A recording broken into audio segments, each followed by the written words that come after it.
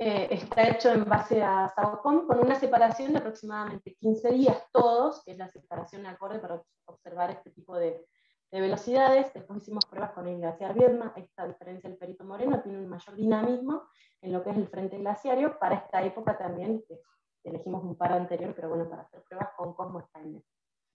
Entonces lo que ustedes observan es el mapa de colores, en, negro chiquito no se observa, pero son flechas de direcciones desde hacia dónde se mueve el glaciar. Y por último, algo más reciente es eh, lo que integramos es el análisis de glaciar Uppsala también con una fecha de este año, de invierno de este año, también con una separación de aproximadamente 15 días, donde observamos mayor dinamismo en la zona central en el glaciar Uppsala. Lo que estamos haciendo ahora es, ya hicimos el cálculo con un par también SAOCOM, lo trabajamos hace poco, pero tomamos imágenes del 2020 donde habían imágenes con la misma geometría, estamos planificando nuevas, pero básicamente estamos midiendo otro tipo de glaciares que responden a otro tipo de velocidades, ya más lentas. Entonces estamos viendo qué parámetros utilizar para monitorear este otro tipo de glaciares, que tienen otra dinámica. No son como el perito moreno, responden a otros aspectos. Entonces lo que estamos haciendo es sacar, extraer los datos, los mapas de radar con, con SAOCOM, los mapas de velocidad y dirección en base a SAOCOM, y a su vez compararlo con esta herramienta que figura a la derecha, la salida de esta herramienta, que es eh, un estimador de velocidad de glaciar en base a imágenes ópticas de alta resolución. Nosotros acá tenemos procesado imágenes ópticas de alta resolución para sacar algo de este estilo, que bueno, son mapas de eh, dirección. acá sacamos para el perito moreno, pero estamos trabajando y avanzando en lo que es el, el glaciar San Lorenzo para estimar si nos dan medidas similares y en cierta manera trabajar las dos mediciones en conjunto. ¿no?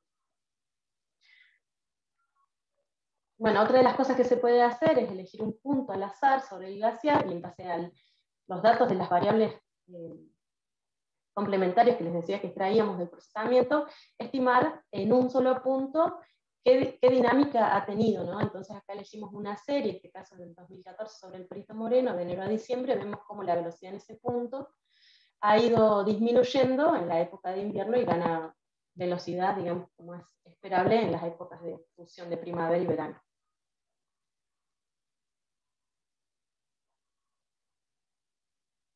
Bueno, y para finalizar, eh, ese es básicamente lo que hemos eh, hecho, lo que estamos trabajando para el monitoreo de este tipo de glaciares. ¿no? Se implementó de manera automatizada este método offset tracking que trabaja con datos de amplitud para medir la velocidad y estimar la dirección en los glaciares de la Patagonia Austral. Entonces se generan mapas vectoriales de velocidades de todo el glaciar. Eh, se destaca el uso de la constelación SIAGE, que tiene una gran cobertura espacial y revisita, ¿no? con una actualización de la información cada 12 horas. Una variable importante a considerar para el monitoreo de, estos lugares tan dinámicos. Eh, bueno, las mediciones coinciden con otras investigaciones realizadas sobre estas áreas. Y bueno, es una herramienta que tiene mucha utilidad para zonas de difícil acceso, como son estos campos glaciarios, que básicamente no se puede ir a caminar arriba hasta tomar un dato de velocidad por cada sector. ¿no? Entonces, bueno, es útil cuando no hay medidas de campo. Algunas limitaciones que tiene el método es que básicamente es aplicable a glaciares con altas velocidades de desplazamiento mayores a 50 centímetros por día. funciona para este tipo de glaciares. Hay otro tipo de glaciares que con esta técnica no, no, no, no sería útil.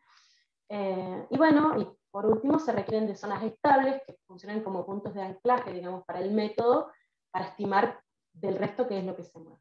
Bueno, y el espacio temporal también es otro aspecto a considerar para obtener una buena correlación entre las imágenes y buena performance en, los mapas de salida. Eh, ¿Queda alguna bibliografía en la presentación como para consultar? Y bueno, eso es todo. Eh, Espero no haberme pasado el tiempo. Gracias por la atención.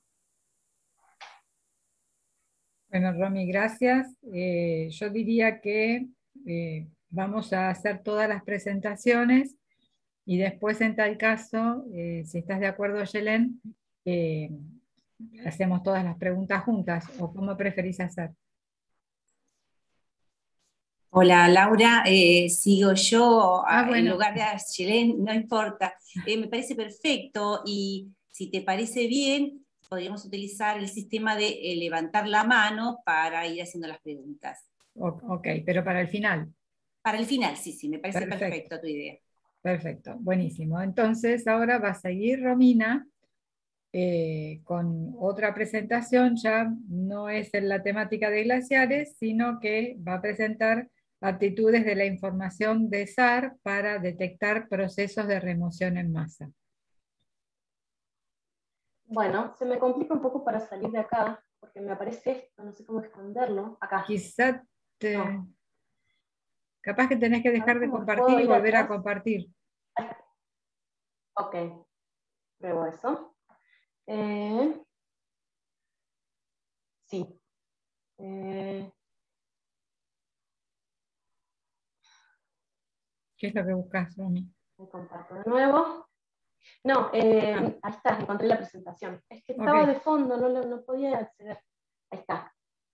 Me, tapaba el menú del Zoom, me tapaba el, menú de acceso. Bueno. Bien, como les comentaba Laura, bueno, este es el título de esta presentación, otro tema en el que estoy trabajando. No está tan desarrollado, digamos, como eh, la parte de glaciares, pero básicamente lo que estamos haciendo es tratar de entender cuáles son las mejores configuraciones y cuál es, cuál es la metodología adecuada para abordar, los distintos procesos de remoción en masa que tienen lugar en el, en el país, que son muy distintos y varían por cada ambiente. Entonces, como decía Laura, esta presentación se titula Aptitudes de la información SAR para detectar procesos de remoción en masa. Eh, como les decía, hay muchos ejemplos de, eh, de, distintos tipos de procesos, de este tipo de procesos en, en todo el país. Nosotros eh, básicamente entendemos a los, son los procesos de remoción en masa son unas de las variables más dinámicas que modifican la superficie terrestre, ¿no? tanto como los glaciares. Eh, en ese sentido, digamos, para entender un poco o retomar los conceptos, son los procesos de remoción en masa son aquellos procesos que tienen lugar en laderas digamos, de, de, montañas donde tiene mucho efecto la pendiente, aspectos como la pendiente y el grado de disgregación de la roca, y que por acción de la gravedad tienden a deslizarse, ¿no? a caer en distintas velocidades y con distintos volúmenes ¿no? de desprendimiento de material. Entonces, generalmente para que esto ocurra, eh, tiene que haber un factor gatillante, ¿no? pueden ser eh, precipitaciones o pueden ser sismos de distintas magnitudes que activan que estas laderas se desprendan. La diapositiva les muestra básicamente en la parte superior los de alta velocidad, todos desarrollan distintas dinámicas, distintas velocidades, y en la parte inferior los de más baja velocidad. Por ejemplo, los, desprendimientos más rápidos, o procesos de remoción en masa más rápidos, tenemos a los desprendimientos y volcamientos, por ejemplo, tenemos en la foto de la izquierda el desplome de un sector de la ladera en el camino que une Villa Langostura con, con Bariloche, entre Neuquén y Río Negro, en invierno del año pasado, donde cayó mucho material de manera, de manera repentina, Después tenemos los deslizamientos de velocidades medias, que son, pueden ser traslacionales, pueden ser rotacionales, etc. A la izquierda tenemos un ejemplo en el Paso Agua Negra en, San Juan. Y después tenemos los deslizamientos de, velocidades más lentas, eh, o procesos de velocidades más lentas, conocidos como flujos o rectaciones, que si bien son lentos, pueden provocar también daños a la infraestructura. En el caso de la de la izquierda se muestra un ejemplo en los Andes mendocinos en un área de permafrost. Hay distintos casos en la Argentina que responden a distintas características de esos propios ambientes.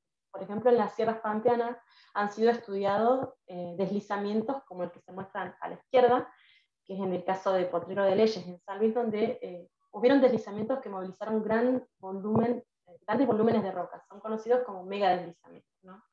Esto hay en San Luis, hay en la zona del Uritorco, en Córdoba, hay en Villavil, en Catamarca, y también tenemos un caso de una movilización de gran volumen en la zona de la laguna de Barbarco Franco. Esos son casos que han sido estudiados. Después tenemos otro ejemplo también en San Luis, relacionado a la dinámica hídrica, este es el río Las Águilas, donde hubo un deslizamiento que indicó todo el valle y provocó algunos problemas. Tenemos una cicatriz en la naciente del río todavía activa. Después tenemos asociado a, ambientes glasifluviales la Laguna Los Rojos en Neuquén, donde observamos una cicatriz de una zona que estaría, digamos, en problemas y que podría llegar a liberar todo este volumen de agua. Eso es algo que requiere monitoreo.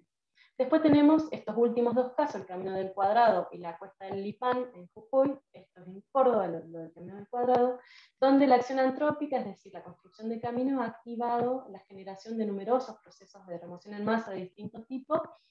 Y bueno, este camino requiere mantenimiento todo el tiempo, además ha causado daños, digamos, en, en la zona, siempre está monitoreándose, y en la cuesta del Lipán vemos el camino principal, la ruta, que es una zona muy transitada por camiones y demás, y vemos cómo queda a merced de esta cicatriz, esta ladera se está deslizando, está pasando ahora. Entonces, bueno, hay distintos ambientes, como verán, con distintas características de, deslizamiento. ¿Qué hacemos desde radar? Nosotros lo que estamos haciendo es, como les decía, primero entender de qué procesos estamos hablando. De procesos lentos, rápidos, en qué tipo de ambiente. Entonces nosotros contamos con información de radar que sabemos que un radar es un sensor que va montado en una plataforma que envía un pulso direccionado a tierra y ese pulso vuelve con una respuesta determinada que es nuestra fuente de estudio. Em, esa, esa información de radar, como se trata de información coherente la que se envía, no solo cuenta con los datos en amplitud, sino también de la fase. ¿no? Y estas dos fuentes de información son las principales para que nosotros podamos sacar nuestra información para estudiar eh, los procesos de, remoción en masa.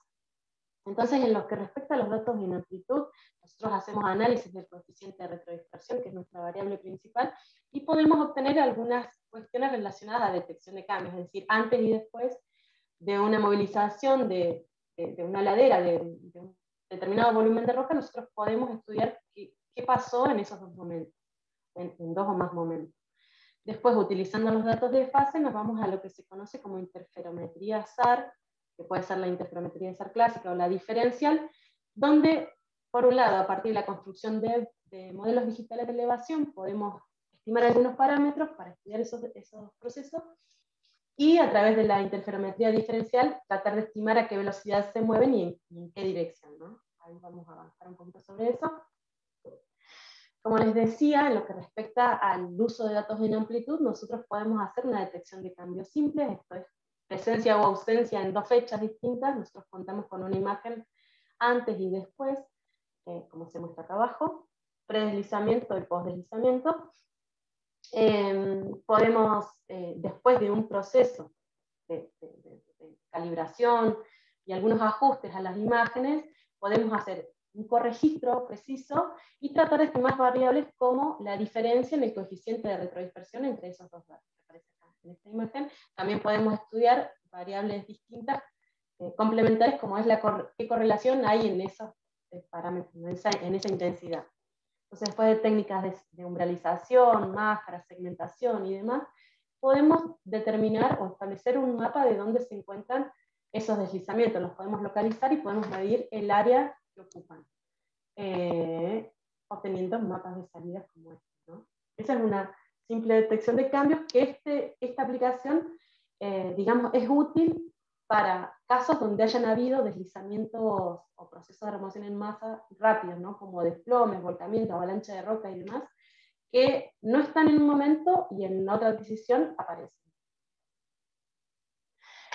Ya yendo a la interferometría de radar, eh, es utilizar los datos en fase de la, señal de radar, nosotros podemos, a partir de eh, esa información en, fase y cierta geometría en la adquisición de, un par de imágenes, podemos establecer construir un interferograma que nos da cuenta de la diferencia de fase que hay en, esas dos imágenes. En ese caso, en, esta diapositiva se muestra el procesamiento utilizando imágenes AOCOM para construir un modelo digital de elevación donde la, digamos, este es el interferograma, eh, el, primero que construimos, después el interferograma desarrollado, la fase desarrollada, pero bueno, estas variaciones indican, indicarían variaciones en altura a modo de curvas de nivel, Esto fue desarrollado en SNAP, el software gratuito de procesamiento de la Agencia Espacial Europea, y lo interesante es que la versión 8 ya procesa SAOCOM. Entonces, a partir de la construcción de un DEM, nosotros podemos sacar muchas variables para aplicaciones topográficas que nos ayuden a entender la dinámica de esos procesos de remoción en masa.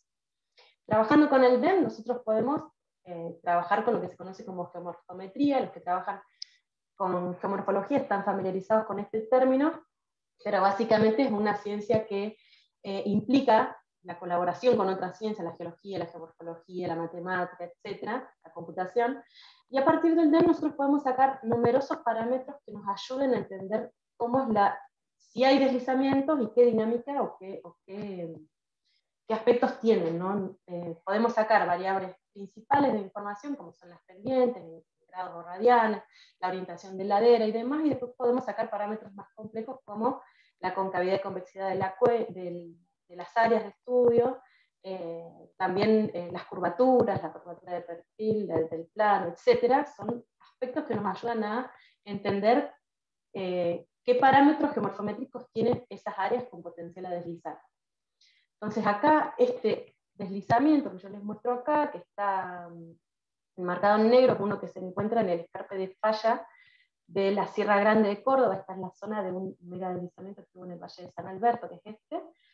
Esta es la zona de ese deslizamiento que yo les muestro acá, que ocurrió hace años, fue un deslizamiento en dos momentos.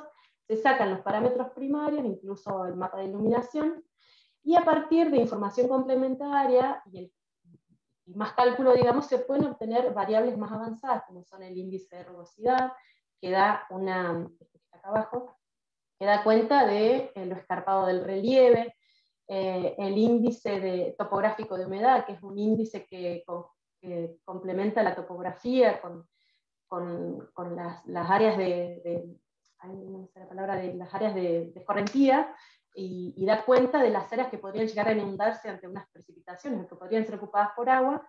Bueno, todo este tipo de información se puede obtener a partir de un DEM que nosotros podemos construir en base a SAOCOM. Hay DEM de distribución gratuitas, pero qué importante es hacer el ejercicio de construir nosotros nuestro propio DEM para eh, entender mejor cómo son los procesos, los resultados que obtenemos.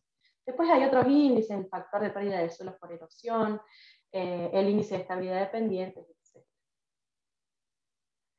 Bien, eso utilizando, como les decía, el modelo digital de elevación con la técnica INSAR clásica. Después utilizando lo que se conoce como interferometría SAR diferencial, nosotros podemos obtener diferencia de fase que dé cuenta de movimientos que ya han tenido lugar en las dos observaciones. ¿no? Eh, en este caso, lo que se hace es restar la topografía y de esa manera, luego un procesamiento complejo, digamos, se obtienen los mapas de diferencia de fase entre dos fechas. Esto también es procesado en SNAP con imágenes SAOCOM de 2019, donde se observa un interferograma con la fase de formación y también un producto complementario que aparece en la coherencia que nos da una estimación de la calidad de la fase interferométrica. Mientras más alta coherencia, más fiables van a ser nuestros datos con la fase. Entonces esto se procesó en base a datos AOCOM, se cargan las dos imágenes de complex, se mm, obtiene el interferograma, se realiza el multilook, bueno, y se sacan como salida los mapas de diferencia de fase y de coherencia en base a imágenes de SAOCOM. ¿Esto que nos permite ver? Básicamente, em, tratar de estimar la velocidad de reconocer precisamente el proceso de remoción en masa que estén teniendo lugar entre esas fechas y también de estimar su velocidad y qué dinámica tiene. Entonces, como mm, hay algunos factores referentes al blanco observado, que tienen que ver con la vegetación, por ejemplo, si hubieron entre las dos tomas em, algunos cambios, por ejemplo, nevadas o, o incluso muchos cambios dinámicos en la atmósfera, esos son factores de ruido que en un solo par de imágenes de radar procesadas pueden llegar a presentar mucho problema, digamos. O sea, porque estaríamos teniendo baja coherencia o baja correlación entre las dos, eh, entre las dos imágenes. Entonces lo que se utiliza en, esa, en ese caso, cuando un simple par de imágenes no es suficiente, se utiliza, eh, o se han desarrollado, mejor dicho, técnicas para el muestreo multitemporal de los fenómenos utilizando un stack de imágenes de mínimo 20 o, bueno, eh, un, buen conjunto de datos donde se muestra el fenómeno, por ejemplo, mensualmente, eh, se han desarrollado técnicas o algoritmos que tratan de estimar ese desplazamiento, eh, que bueno, justamente al utilizar mucha cantidad de imágenes, todos esos problemas de atmósfera y de correlación y demás se minimizan mucho. Hay distintos algoritmos desarrollados. Uno es este que yo les pongo acá, el Small Baseline, Baseline Subset, que es uno que trabaja con áreas extendidas, digamos, blancos extendidos, donde eh, a partir del uso de varias imágenes de radar, se trata de ubicar una única imagen supermaster, se la conoce como supermaster, que es la que, a partir de la cual se realizan los interferogramas diferenciales, em, tratando de ubicar, digamos, la, base, de este algoritmo es tener una, línea de base eh, baja, digamos, entre las tomas, ¿no? Eso reduce mucho la correlación. Bueno, yo tuve la posibilidad de procesar datos, en este caso es Sentinel, en una plataforma de procesamiento para grandes volúmenes de datos de la ESA, y pude obtener algunos este, resultados interesantes con este algoritmo. Hay otros que trabajan para blancos puntuales, pero bueno, para deslizamiento resultó de mucha utilidad. En este caso, los resultados de esa plataforma dieron, eh, dieron eh, velocidades que van de eh, algunos centímetros al año, digamos incluso entre 5 o 20 o 25 centímetros al año para estos casos, que corresponde a esta zona, una zona de Córdoba, la Sierra Pampeana, donde la zona de Ongamira, en San Alberto, incluso en Los Cocos y Cruz Grande, esto es Valle de Punilla, se pueden observar lóbulos con distintas velocidades, ¿no? que se corresponden justamente con deslizamientos de tipo más lento, que eh, son los esperables en esta zona y que también ya ha sido estudiado en otras investigaciones. Para más detalles de, este, todo este procesamiento y lo que se hizo, incluso eh, trabajando o anexando la parte de eh, geomorfometría para construir un inventario de estos deslizamientos en base a modelos digitales de elevación, todo eso está en este trabajo que se presentó en el IEEE ARGENCON 2020, eh, donde se analizan estos casos y se exponen los resultados. Otra de las áreas que llamó la atención en, Córdoba es la zona del Cerro Vitorco, como yo les decía, acá hay un par interferométrico eh, construido entre 2014 y 2016. Esta es la zona del mega deslizamiento, acá está el camino, acá está Capilla del Monte. Como ustedes ven en la imagen de Google Earth, esta zona se deslizó. Acá está el borde de ruptura del deslizamiento. Bueno, queríamos ver si siguen deslizamientos activos o procesos activos en esa área. Lo que encontramos es un patrón que se repite, fíjense, en las laderas más hacia, hacia el este o el sureste, de eh, una zona que se estaría moviendo. Lo encontramos en este interferograma de esa época y también en otro, en otro interferograma de un par construido 2017-2018. También como resultado de la plataforma encontramos eh, velocidades eh, similares en las mismas zonas, velocidades de desplazamiento similares en esas zonas que podrían ser indicios de nuevos de nuevos procesos. Entonces, para finalizar, lo que les quería comentar es que está pensado para SAOCOM, para la misión SAOCOM, un escenario exclusivo para procesos de remoción en masa. Eh, sabemos que el producto principal es la humedad del suelo, pero también hay otras aplicaciones que se pueden desarrollar en Argentina. Y bueno, eh, con imágenes de SAOCOM de media resolución, las StreetMap, eh, o incluso con las TopSAR se pueden eh, programar adquisiciones sobre zona de interés para usuarios que estén interesados en esta temática. Em, básicamente eso es lo que estamos haciendo ahora con el tema proceso de remoción en masa en el grupo y, bueno, em, espero que se haya entendido. Cualquier duda, ahí está mi mail para los dos casos, para el de la serie. Para este me escriben por cualquier consulta. Muchas gracias. Bueno, muchas gracias Romy. Y ahora daríamos lugar a la presentación de Sofía Teveroski, que eh, va a presentar datos SAR para estimación de equivalente eh, en agua de nieve.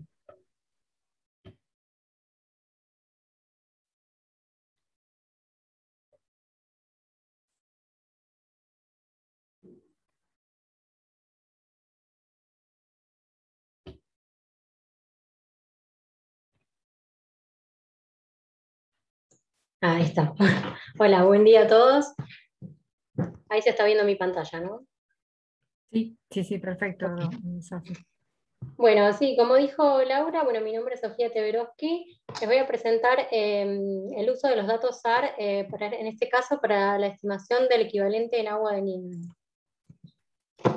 Bueno, como sabemos, la nieve constituye una de las mayores reservas de agua dulce en cuencas con régimen nival, donde la nieve que se fusiona en la montaña alimenta los caudales de los ríos, es importante conocer la variabilidad, tanto de lo que es el área cubierta por nieve, como también la variabilidad de sus parámetros. Con eh, los datos SAR eh, es, posible identificar tanto áreas próximas a la fusión, pero también estos datos tienen gran potencial para la estimación de otros parámetros como la profundidad de la capa de nieve o el EAN, el equivalente en agua Los productos generados con estos datos eh, constituyen un apoyo en los modelos de predicción de escorrentía para planificación estacional del uso del agua en actividades productivas y económicas.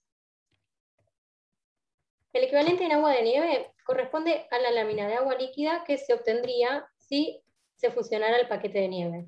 Es por eso que es un parámetro importante la hidrología de montaña, que tiene en cuenta el volumen de agua em, acumulado. Con datos SAR lo que se utilizan son técnicas de interferometría diferencial, eh, utilizando la información de fase de las dos, imágenes. Este es un ejemplo de los trabajos que se hacen en los Alpes. Esta técnica se inició en Europa en el año 2000 aproximadamente, en los Alpes de Austria, y eh, con esta técnica se genera un mapa que muestra el cambio en el equivalente en agua de nieve entre dos fechas. Este es un ejemplo con imágenes halos en banda L. Bueno, para entender un poco cómo usar los datos SAR eh, y esta técnica en, la detección de este parámetro, Primero, hay que entender un poco cómo interacciona la, onda del radar con la cobertura de nieve. La señal SAR eh, tiene la capacidad de penetrar en las superficies y eso hace que pueda brindar información sobre las capas subyacentes. Em, el coeficiente de retrodispersión, la respuesta del radar eh, frente al, suelo cubierto por nieve, tiene diferentes contribuciones. Cada una de estas contribuciones, eh, la, cantidad, digamos, de, cada uno de estos, el tamaño del backscattering, digamos, el coeficiente de retrodispersión de cada uno, el aporte de cada término, va a depender, por un lado, de las características propias del sensor, como la frecuencia, la polarización y el ángulo de incidencia, pero también de las características propias de la capa de nieve, como eh, la densidad, la estratificación, el tamaño de los granos y la más importante, el contenido de agua líquida expresada a través de la constante dieléctrica. El contenido de agua líquida es muy importante eh, a tener en cuenta a la hora de trabajar con datos SAR y nieve, ya que cuando el paquete de nieve se encuentra seco, la onda de radar atraviesa el paquete, no tiene interacción de estas del medio, digamos, volumétrica, sino que interacciona con el suelo. Esto eh, esta es la base de por qué se utiliza INSAR, eh, o sea, la información de fase de los sensores SAR, para la estimación de la profundidad. Ahora vamos a hacer un poco de detalle eh, en esto. ¿Por qué se utiliza INSAR? Lo que, lo que hace la onda de radar, o sea, el radar cuando se encuentra con la capa de nieve, la onda de radar cambia de dirección debido a la diferencia entre la constante dieléctrica, entre las propiedades dieléctricas del aire y de la nieve. Esto hace que cambie la dirección del haz. Entonces, eh, hablando ya de interferometría en sí, la fase interferométrica normalmente se compone de una fase de tierra plana, una fase topográfica, una fase de atmósfera y una fase de ruido. Cuando eh, el suelo se encuentra cubierto por nieve, se le suma la diferencia de fase debido a la capa de nieve. Esta diferencia de fase está relacionada, está dada por esta fórmula que se muestra acá, que eh, tiene en cuenta parámetros como el ángulo de incidencia, que es este, el ángulo de incidencia, la constante dieléctrica, la longitud de onda del sensor, y lo que se puede llegar a determinar es la variación en la profundidad. Si se conoce la, mm, densidad de la, nieve, con ese dato se puede estimar la variación de Lean. Esta deducción de Lean se basa, como dije antes, en el retorno de la señal en la interfaz suelo-nieve, es decir, que la onda penetra toda la capa de nieve. Es por esto que eh, en esta técnica es preferible utilizar ondas más largas para que lleguen hacia el suelo. Por ejemplo, la banda L eh, del SAUCOM tiene mucho potencial en, esta técnica. La metodología, bueno, al, principio es eh, una metodología DINSAR eh, normal, digamos, se elige una imagen de referencia, una imagen subordinada, se corregistran, acá también es muy importante el corregistro, se forma el interferograma con su imagen de coherencia, se remueve la fase topográfica, se filtra mediante multilooking y filtro Goldstein, se desenrolla la fase y luego hay un paso que pasa de, la variación de fase a la variación de AN. Luego se corrige geométricamente para obtener el mapa final. En este punto de pasar de valores de delta fase a delta EAN, hay que volver a la formulita que mostré anteriormente y recordar la relación entre el EAN y la profundidad y la densidad de la nieve.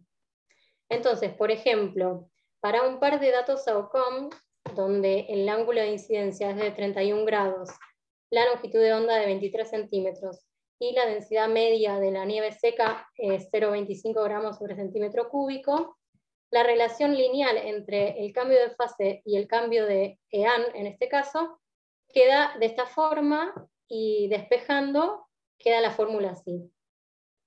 Entonces, estos 130 milímetros sería, por ejemplo, un ciclo de fase. Si, la, si mi delta phi es 2pi, el delta EAN es 130 milímetros. Esto lo que vendría a ser es como la altura de ambigüedad cuando se hace el DEM, sería como el delta de ambigüedad eh, para tener en cuenta eh, para, hacer el, para desenrollar la fase o no. Esto es, importante, en, por ejemplo, cuando trabajamos en banda L, es este valor, pero en bandas más chicas disminuye, por lo cual ahí ya entran problemas ya del desenrollado de fase y de los problemas de ambigüedad. Y bueno, lo que se obtiene con esta formulita son estos mapas. Este es un ejemplo con una imagen SAUCOM, eh, un interferograma realizado entre el 15 de mayo y el 31 de mayo. Es un resultado preliminar porque eh, no está aún validado, eh, falta un dato de campo justo en esta zona donde adquirió el satélite, y lo que muestra es la variación del equivalente en agua de nieve entre esas fechas las zonas transparentes, digamos, son zonas que fueron enmascaradas porque la coherencia era menor a 0.4. Eso es otro punto importante a tener en cuenta cuando se trabaja con INSAR, eh, tener en cuenta la coherencia. Los píxeles con baja coherencia son información no confiable, por lo cual hay que enmascararlos en este caso.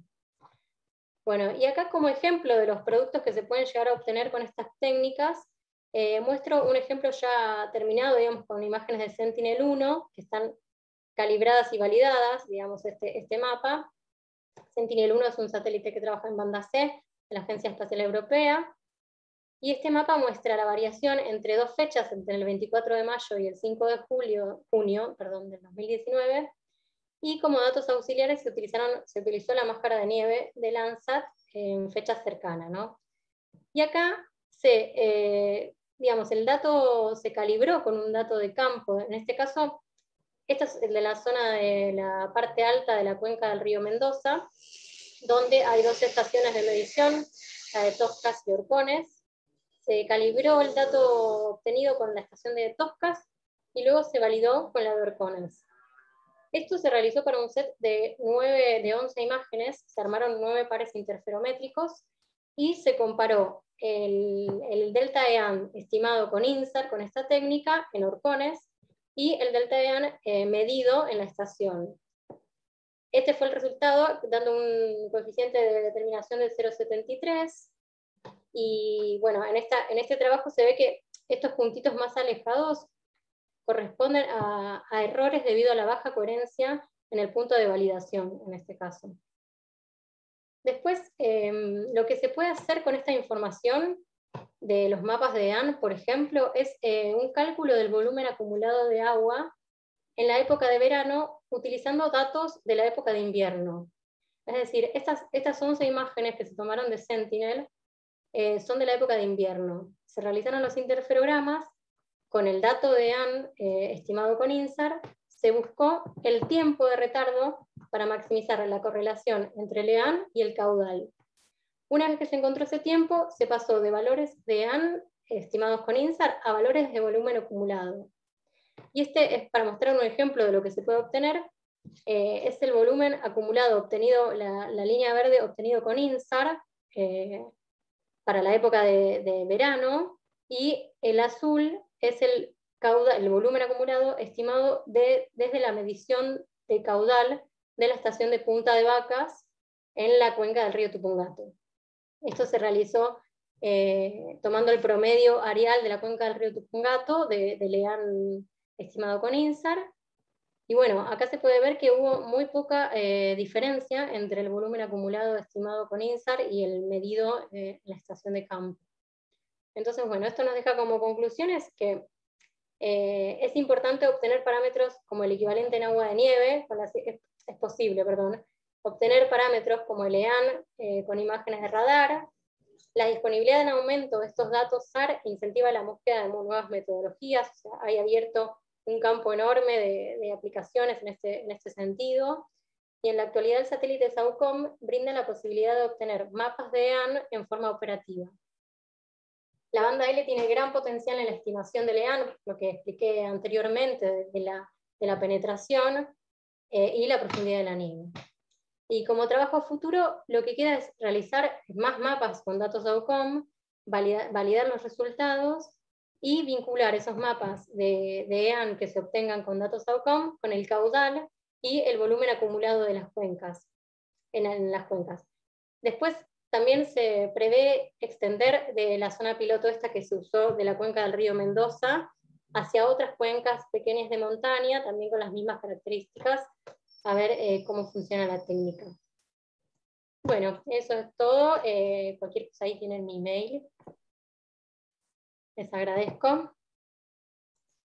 Muchas gracias, Sofi. Y, bueno, ahora pasamos, vos sí te vas a poder quedar, por favor. Sí. Para recibir todas las preguntas, sí. Dale. Este, y ahora pasamos a la próxima presentación que eh, está mencionado en Nicolás eh, Grunfeld Brooks, pero tuvo problemas personales, entonces eh, la presentación de Nicolás la va a dar Jorge Milovich.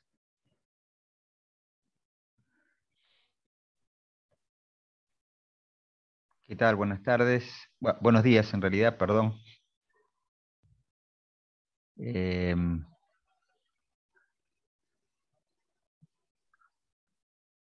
Sí, mi nombre es Jorge Milovich, como me presentó Laura recién. Voy a hacer una presentación sobre interferometría con SAOCOM. Eh, esta es la agenda de la presentación. Eh, no vamos a, explicar demasiado qué es interferometría, ya hubo una explicación bastante eh, más en profundidad en las presentaciones anteriores de tanto de Romina como de Sofía, que mostraron muy buenos ejemplos. Así que lo que me voy a centrar más es en los productos SAOCOM que se pueden obtener del catálogo. Es una pequeña introducción de lo que es el sistema SAR y la interferometría, y luego vamos a hablar sobre, eh, más que nada, cómo se pueden obtener productos de interferométricos a partir del catálogo SAOCOM. Como, bueno, se estuvo hablando en las presentaciones anteriores, pero Digamos, esta es una, pequeña síntesis de cómo es la geometría de observación de un, de un SAR. Eh, observa en forma, en rango oblicuo.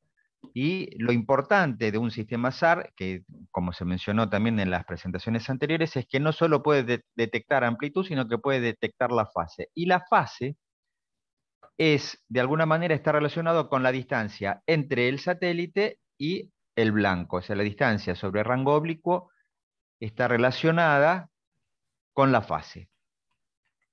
Y de esta manera, al ser la fase de alguna manera relacionarse con la distancia, se pueden obtener productos geométricos de la zona observada, o sea, del, blanco observado. Entonces, ¿qué es la interferometría?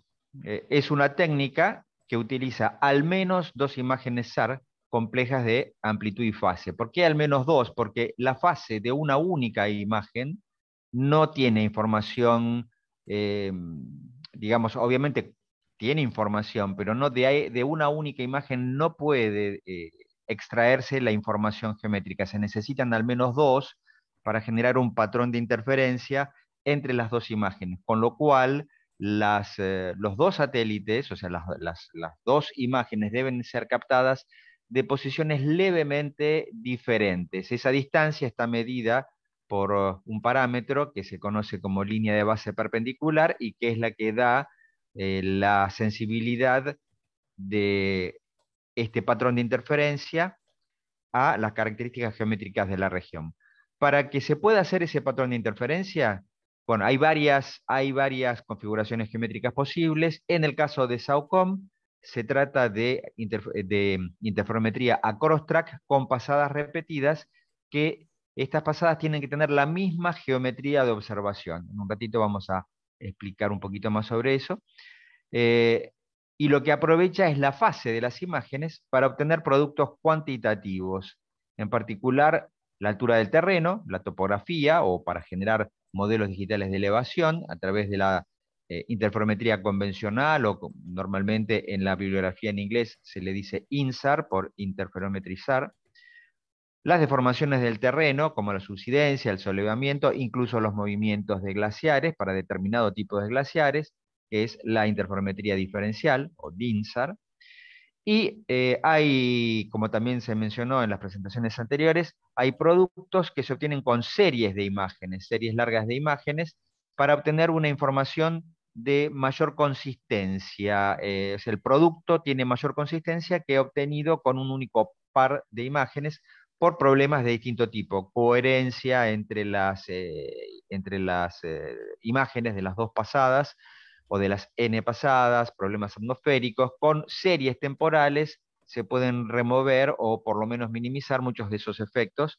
Y las dos técnicas eh, más utilizadas son la de Permanent Scatterer o Persistent Scatterer y la de Small Baseline Subset, que es BAS, es la sigla.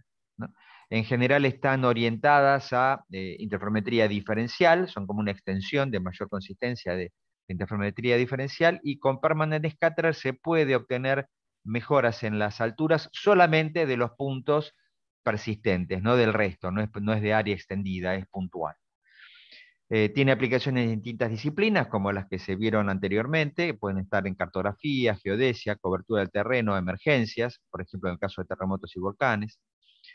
Y las metodologías de procesamiento ya son estándar, ya están establecidas, son sólidas, y están presentes en gran parte de los softwares, ya sea libres, como el mencionado anteriormente Snap, y algunos comerciales. Incluido el caso de SAOCOM, SAOCOM está presente ya en varios softwares libres y comerciales.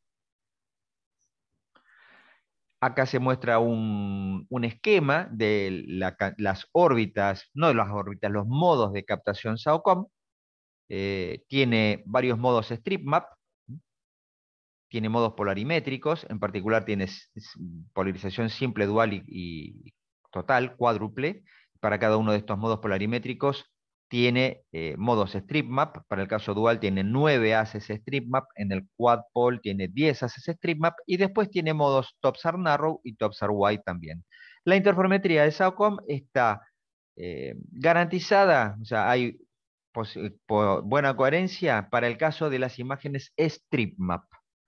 Las imágenes StripMap no tienen, eh, no tienen problemas de limitaciones para interferometría. En el caso de las TOPSAR, es lo que denominamos interferometría de oportunidad. Esto quiere decir que algunos pares van a tener buena coherencia y otros no. Eso es por, un, por una cuestión de cómo funcionan los modos TOPSAR, que tienen eh, una serie de bursts o de ráfagas de pulsos, y para poder hacer interferometría se necesita sincronizar espacialmente entre las distintas pasadas esas ráfagas de pulsos. En el caso de SAOCOM, como la prioridad fue el, escenario principal de emisiones, humedad del suelo, se le dio prioridad a otro tipo de, diseño en el sistema y entonces no está, este, el TOPSAR es solamente interferometría de oportunidad. Sin embargo, no es que no puedan hacer, algunos pares van a tener buena coherencia, otros no. En este caso, lo que les decía de la misma geometría. ¿Esto qué quiere decir? Si yo quiero hacer interferometría con el modo, por ejemplo, Strip Map Dual Pole 1, eso quiere decir que siempre voy a tener que usar el mismo modo Strip Map 1 para una dada zona. No puedo hacer un patrón de interferencia con el modo 1 y el modo 2. O uso el modo 1 si las dos imágenes con el modo 1 o las dos imágenes con el modo 2 o con el modo 7 o el que sea. Si tuviera una serie larga de imágenes de distintos modos, por ejemplo, qué sé yo, 10 imágenes del modo 2 y 10 del modo 4, lo que podría hacer es interferometrías, patrones entre las 10 del modo 2 por un lado, entre las 10 del modo 4 por el otro, y mezclar los resultados, pero no puedo interferir el modo 2 con el modo 4. Esto es importante en eh, la solicitud de imágenes que vamos a ver en un rato. Eh, el modo que uno utiliza tiene que ser el mismo para todas las captaciones interferométricas. En el caso de la constelación SAOCOM, con un satélite tenemos 16 días de ciclo de revisita orbital. ¿Esto qué quiere decir? Que cuando en una dada zona yo tomo el modo 1, por ejemplo, dual pol, para tomar la próxima captación necesito esperar 16 días. O tengo que tener un modo, un ciclo orbital, tiene que pasar un ciclo orbital para poder tomar la misma zona con el mismo modo y la misma geometría de observación. En el caso de la constelación, para hacer interferogramas con eh, los dos satélites, SAOCOM 1A y 1B, tengo que esperar 8 días. Si esta zona es captada con el modo 1 por el SAOCOM 1A, en 8 días después la capta con el mismo modo el SAOCOM 1B y 8 días después otra vez con el 1A. Acá están los datos de frecuencia central y longitud de onda de banda L del SAOCOM. Entonces vamos a ver cómo pedir imágenes en el catálogo SAOCOM. Aquí está la dirección web donde pueden acceder al catálogo SAOCOM.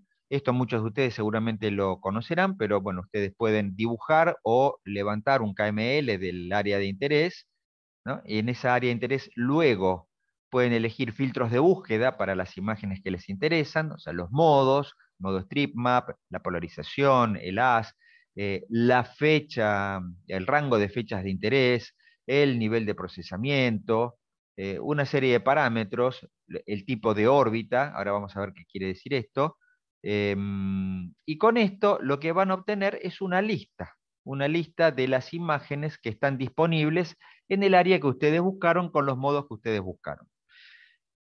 Cuando se posicionan con el mouse sobre alguna imagen, le muestra el área geográfica que está cubierta, con lo cual uno puede decir, bueno, este, mm, este es el área de mi interés, Digo, bueno, quiero hacer un interferograma, ya identificando el área de interés, puedo identificar el modo, en este caso es un strip map eh, eh, ascendente, y para hacer interferometría dijimos que necesitábamos datos complejos. En el caso de SAOCOM, los datos complejos están presentes en el nivel de procesamiento L1A, o como se denomina normalmente Single Loop Complex, pero es el L1A. No puedo hacer interferometría con el con el L1C, por ejemplo, o con un producto derivado. No puedo, tengo que usar siempre el modo L1A. Es el modo que tiene la fase. ¿Cómo hago interferometría? Elijo un área, le doy botón derecho y me va a aparecer un menú. Elijo el eh, eh, pedidos interferométricos y este pedido, al elegir el pedidos interferométricos de toda la lista que tenga acá de imágenes, lo que va a aparecer es una lista que cumpla dos requisitos. Primero, son los productos que están en nivel L1A, o sea que tienen la fase, y que tienen la órbita precisa. La órbita precisa es la que denominamos offline fast. En el catálogo, cuando ustedes eligen, es la de tipo offline fast. ¿Por qué? Porque se necesita, cuanto mejor es el cálculo de la órbita, mejor es el resultado del interferograma. Si usan una órbita no precisa, el interferograma puede tener muchos errores. Entonces, automáticamente cuando se pide acá, se pide el, el, perdón, el interferometry request, automáticamente esta lista se filtra y quedan ese tipo de productos. Si acá hay algún producto que ustedes requerirían, que saben que está la imagen y no está en esta lista, lo que tienen que hacer es volver a la sección de búsqueda de productos, elegir ese producto y solicitar su reprocesamiento a nivel L1A y con órbita offline fast, para que luego aparezca en esta lista, que es la que a ustedes les interesa. Cuando ustedes piden eh, pedidos interferométricos, van a poder elegir una imagen como master y después van a poder elegir otra imagen como slave, una o varias imágenes como slave. Acá uno puede elegir más de dos imágenes, puede elegir tres, cuatro imágenes, una siempre va a ser la master y el resto es slave. Esto usa todavía la nomenclatura antigua, hoy en día está cambiando la nomenclatura por imagen primaria y secundaria o por imagen de referencia e imagen subordinada, eso está cambiando, pero bueno, esto usa la nomenclatura más estándar, que en estos momentos se está cambiando. Con esto ustedes pueden elegir el par interferométrico. Una vez que eligen el par interferométrico, el catálogo automáticamente les va a presentar una ventana de resultados. En esta ventana de resultados, acá hay solamente dos imágenes elegidas, la imagen de referencia y la subordinada, que son el punto rojo en este gráfico y el punto azul. Este gráfico les da en el eje horizontal la distancia temporal entre las captaciones y en el eje vertical la distancia entre eh, posiciones de satelitales en los momentos de captación, o sea, lo que se llama el baseline. Si fueran más de dos imágenes, acá van a ver puntos intermedios con sus respectivas distancias temporales y distancias espaciales, que da información de la, distancia temporal, de alguna manera se relaciona con la coherencia temporal, con el mantenimiento de la coherencia, que es fundamental que la geometría de la zona no cambie para que pueda obtener un buen patrón de interferencia, por ejemplo, la geometría a nivel eh, dieléctrica, es decir, si a mí me cambia la constante dieléctrica porque hubo una lluvia intensa en el medio de las dos imágenes, posiblemente esa imagen, ese par va a tener baja coherencia. O si hubo crecimiento de vegetación o un cambio en las condiciones geométricas, la coherencia va a disminuir. Entonces, esta nube de puntos que le pueden aparecer acá le va a dar información de su distancia temporal y su distancia espacial, lo cual tiene, eh, de alguna manera, da información sobre cómo va a ser el resultado o cómo vamos a poder inferir el resultado de los análisis interferométricos. Acá van a obtener una serie de parámetros, o sea, la imagen que ustedes eligieron como primaria y las, una o varias como secundaria, los códigos de las imágenes, del catálogo, la distancia temporal, en este caso 16 días, fueron captadas con un ciclo de repetición orbital. El baseline en este caso es la distancia entre los dos satélites, la distancia lineal entre los dos, entre los dos centros de antena en realidad, este, en, en metros.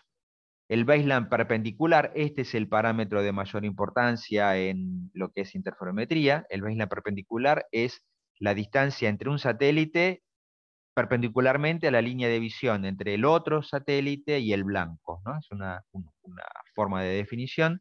este parámetro es el que le da la, la sensibilidad al interferograma en cuanto a, la topografía. Cuanto más alto es, más sensible es eh, al cambio de topografía, pero al mismo tiempo hay más separación de imágenes entre, las, eh, entre las captaciones, entre los centros de antena, y por lo tanto baja lo que se llama la coherencia geométrica. Si bien hay métodos que compensan eh, eso de alguna manera con filtros especiales, a priori, si aumentamos este parámetro, baja la coherencia geométrica que está definida acá. Ustedes pueden ver esta coherencia geométrica, no es la que van a tener en el par de imágenes, sino que es la que se deriva de la geometría de este par de imágenes en particular. Entonces, de, la imagen slave con respecto al máster, si tienen más de una imagen de, eh, supeditada, van a tener para cada una de ellas cuál es la, coherencia, geométrica con respecto a la, imagen principal. Eh, luego hay otros parámetros como la baseline crítica, esto quiere decir, esta es la distancia máxima admitida entre satélites, mayor que esta distancia, es sobre la línea perpendicular también, eh, implica que ya no hay coherencia entre las imágenes, la altura de ambigüedad, que es la, altura en el terreno, que representa un ciclo de 2pi, esto fíjense que es la fase, la fase cíclica va entre 0 y 2pi, por eso se ven franjas en los interferogramas, eh, el baseline paralelo, que es otro dato geométrico, y el ángulo de, de visión. En cuanto a productos, hay tres tipos de productos que se pueden solicitar en este, en este momento, que es el interferograma plano, el diferencial y el stack corregistrado. Eh, cada uno de estos productos hay que pedirlos de a uno, no se pueden pedir los tres simultáneamente, pero esta ventana no desaparece. Piden uno, después el otro, después el otro, y a su vez pueden tener la opción de geoproyección, es decir, cada uno de estos datos vienen en slant range, y si piden la opción de geoproyección, tienen además los datos geoproyectados. Em, para el caso de pedidos de adquisición, no hay una opción para pedir pedidos interferométricos, pero si uno pide con botón derecho Acquisition Request, lo que tiene que tener presente es que hay opciones, como la de pedidos repetitivos, y que permite obtener para cada ciclo orbital una captación sobre la de interés. Y lo más importante, como les decíamos recién, elijan un único modo, o el S6QP o el S2DP, pero siempre un único modo para garantizarse que la geometría sea siempre la misma y elijan L1A como modo de procesamiento y offline fast como órbita precisa. Estos datos están más explicados en el manual de usuario, todo esto que les expliqué rápidamente. Acá en esta dirección de web pueden bajarse el manual de usuario de, del catálogo SACOM, donde les va a explicar eh, con más detalles todo esto que les estuve diciendo. Y acá simplemente ejemplos. Estos son ejemplos de productos generados directamente desde el catálogo SACOM. El catálogo SACOM tiene un procesador interferométrico por el cual ustedes pueden pedir estos productos. Las imágenes corregistradas, la primaria y secundarias, las imágenes eh, también geoproyectadas, eh, las imágenes de coherencia en slant range y geoproyectadas, y interferogramas, planos o diferenciales. Acá ven, la, cuanto más cerca están las franjas, mayor es la pendiente del terreno, cuanto más alejada, menor es la pendiente del terreno. Como conclusión, decimos que SAOCOM tiene capacidades interferométricas aseguradas para modos stripsar, de oportunidad para modos topsar. Existen varios productos que se pueden pedir directamente desde la página del catálogo y también es posible programar adquisiciones a futuro teniendo en cuenta esos detalles que les comenté para que sean aptas para interferometría. Eh, nada más, muchas gracias por su atención. Te paso la palabra a Laura. Sí, muchas gracias Jorge. Eh, muy bien, la idea fue justamente complementar un poco entre las presentaciones para eh, trabajar en interferometría. Así que seguimos con la temática y a continuación de Jorge va a presentar a Eileen Pereira, Calibración de productos interferométricos, SAUCOM, a partir de mediciones GPS y gravimétricas. Aileen, por favor. Hola a todos. Bueno, voy a buscar la presentación. Em, ¿Ahí se ve la pantalla? No, todavía. ¿No? A ver. Ahora sí está queriendo. Bueno. Ahí sí. ¿Ahí va bien? Sí, sí. Perfecto. Bueno. Buenos días a todos y todas. Soy Aileen Pereira, eh, este, becaria doctoral de CONICET y CONAE de la Universidad Nacional de Rosario. Y la siguiente, em, la presentación es a modo de introducción de un proyecto que estamos iniciando sobre la, calibración de los productos interferométricos del SACOM a partir de mediciones eh, este GPS y, gravimétricas. Em, este estudio se enmarca en mi proyecto de tesis doctoral de la evaluación del origen y monitoreo de la deformación asociada a la caldera del Cerro Blanco, utilizando este, las técnicas de INSAR, el GPS y gravimetría y que además también está dentro del el proyecto de, este de CONAE del AODEM este SAOCOM. Entonces, la idea es eh, estudiar la deformación de la caldera del Cerro Blanco con eh, relevamientos in situ a través de em, eh, la aplicación de, este, GNSS y de gravimetría y de relevamientos en gabinete a través de interferometría SAR mediante los modelos digitales de, terreno y de eh, interferometría diferencial. Eh, entonces, en esta ocasión, el objetivo es cuantificar la deformación y la subsidencia de la caldera a través de imágenes de, este, radar del SAOCOM 1A y 1B aplicando INSAT. Em, por lo que mediante una campaña de, relevamiento eh, que se llevó a cabo este año en el Cerro Blanco, usando las técnicas de GPS diferencial y de gravimetría, es que se pueden llegar a este, validar las imágenes del SAOCOM y presentar así un ejemplo de aplicación de información este, satelital de esta misión. Eh, bueno, entonces para adentrarnos eh, un poquito en la zona de estudio, el complejo volcánico este Cerro Blanco se encuentra en la puna catamarqueña, en los Andes centrales del sur, dentro del departamento de Antofagasta de la Sierra. Es uno de los centros eh, este, volcánicos ácidos que la caracterizan a la zona y es también uno de los sistemas este, caldéricos más jóvenes de los Andes y en particular la caldera del Cerro Blanco eh, se produjo hace unos 4.200 años como consecuencia de una de las erupciones más grandes y más importantes de los Andes centrales. Eh, como se puede observar acá en, esta foto que se tomó este año, tiene 5 kilómetros de diámetro la caldera y se encuentra más o menos a unos 4.200 metros sobre el nivel del mar. Eh, bueno, y esta zona se viene estudiando ya hace varios años mediante este, las técnicas de GPS y de INSAR, y em, en el 2004 se instalaron puntos fijos o, los benchmarks para eh, este, monitorear esta zona. Eh, como se puede ver en el mapa, hay tres en la zona de la caldera, uno sobre la em, este, ladera la, este, noreste, y el quinto en una zona alejada de la caldera que se considera sin deformación a comparación de la otra zona, con el fin de tener un punto de referencia local como para poder después ir eh, y comparar estos valores con los de la caldera en sí, que es así sufre eh, una deformación.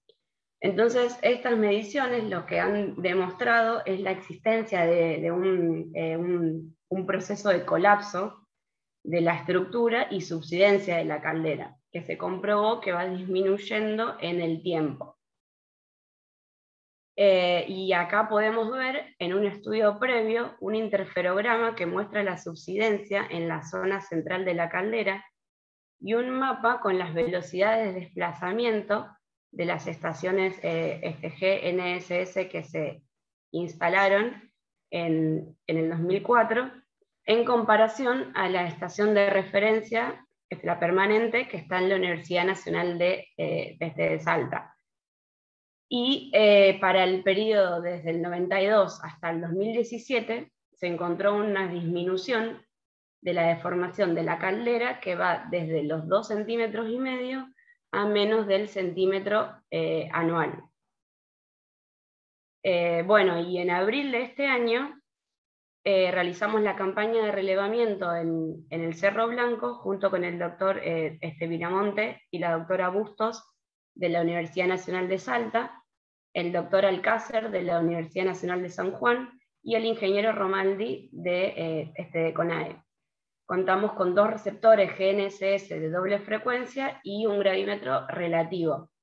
Eh, y bueno, relevamos la zona en simultáneo con adquisiciones ya em, em, las programadas de imágenes eh, este, satelitales de radar del SAM 1A y 1B.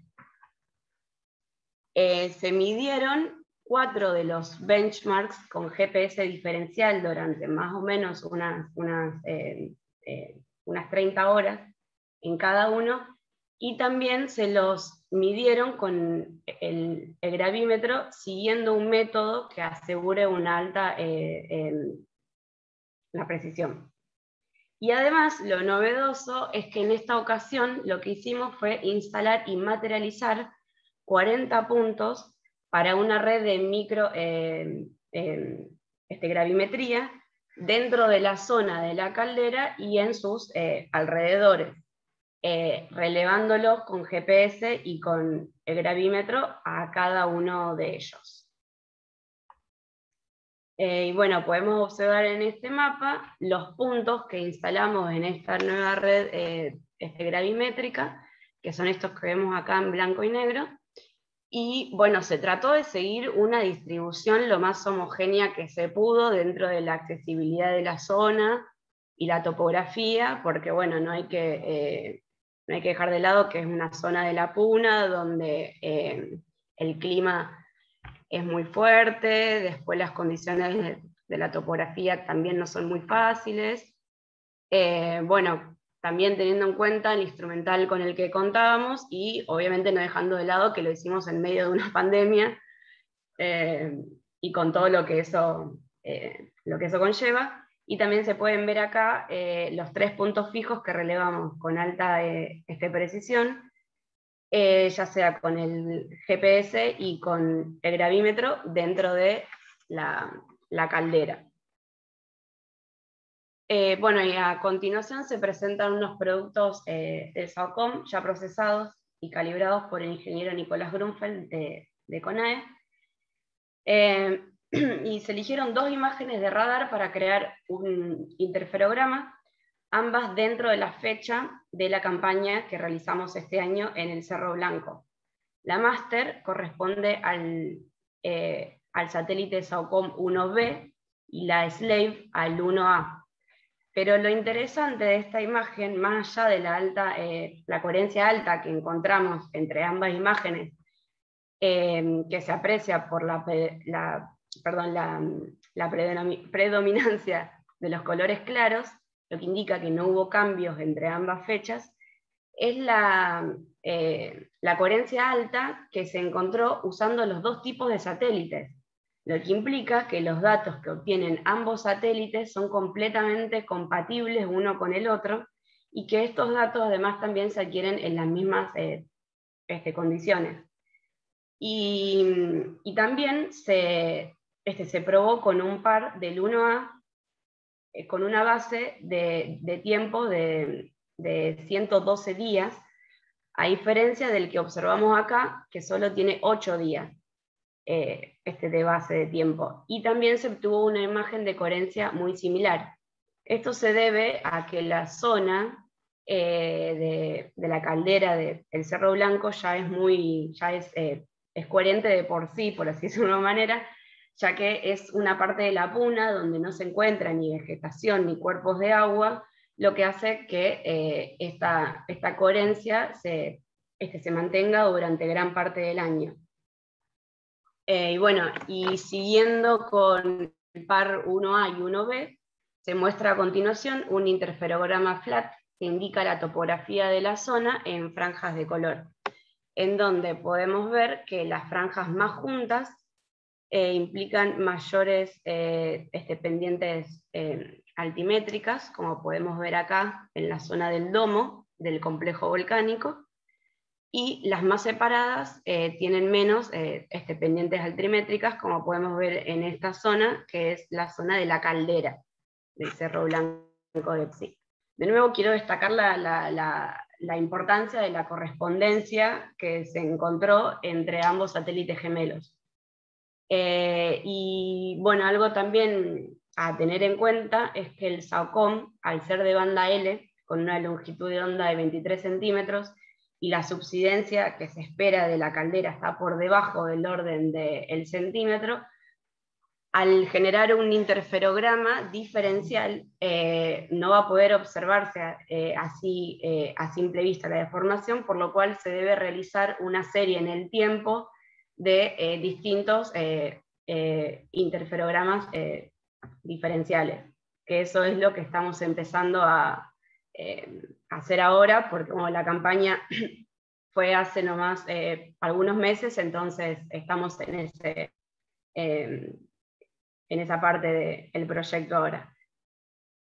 Bueno, y entonces para concluir eh, sobre el, estado en el que se encuentra ahora este proyecto, eh, estamos en, en, el proceso de los datos GNSS gravimétricos que hasta ahora nos vienen dando muy bien obtenidos en, la campaña en, el Cerro Blanco como para continuar confirmando y midiendo la tasa de colapso de la caldera y así este, validar las nuevas imágenes del SAOCOM 1A y 1B como para contribuir al monitoreo y, eh, y mejor comprensión de las actividades volcánicas, no solo del complejo volcánico este Cerro Blanco, sino también en otras zonas del país, siendo esta otra de las tantas aplicaciones de, estos nuevos satélites de la misión SAOCOM de la CONAE. Entonces, esta herramienta lo que nos va a permitir es generar un producto de gran eh, eh, este, este, precisión, como para eh, este, medir las deformaciones del, volcán y producir mapas que muestren las deformaciones del suelo, deslizamientos del terreno, etc.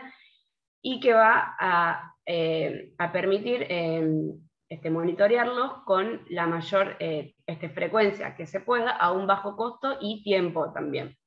Y que a su vez este producto este satelital va a servir no solo para este, monitorear eh, esta zona, sino otros eh, este, volcanes del país y, del mundo para estudiar y prevenir los desastres naturales. Bueno, eso es todo. Les agradezco por la atención a todos y a todas y, bueno, quedo a disposición de las preguntas o los comentarios que, puedan llegar a surgir. Muchas gracias. Bueno, gracias Aileen. Y, bueno, ahora ya eh, pasamos, dejamos de torturarlos con interferometría y pasamos a otra temática eh, la próxima presentación va a estar llevada a cabo por dos profesionales. Eh, uno sería Danilo Dadamia, que creo que va a hablar primero, y el otro eh, Ezequiel de Luca. Y van a presentar la misión SAUCOM para aplicaciones hidrológicas. Deja de compartir, Aileen, por favor.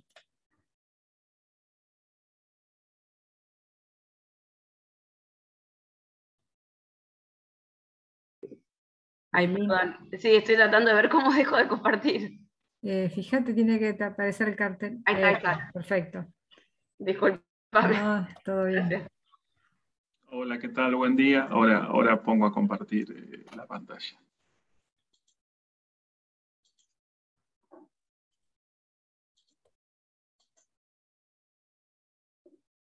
se ve bien ahí la pantalla, ¿no?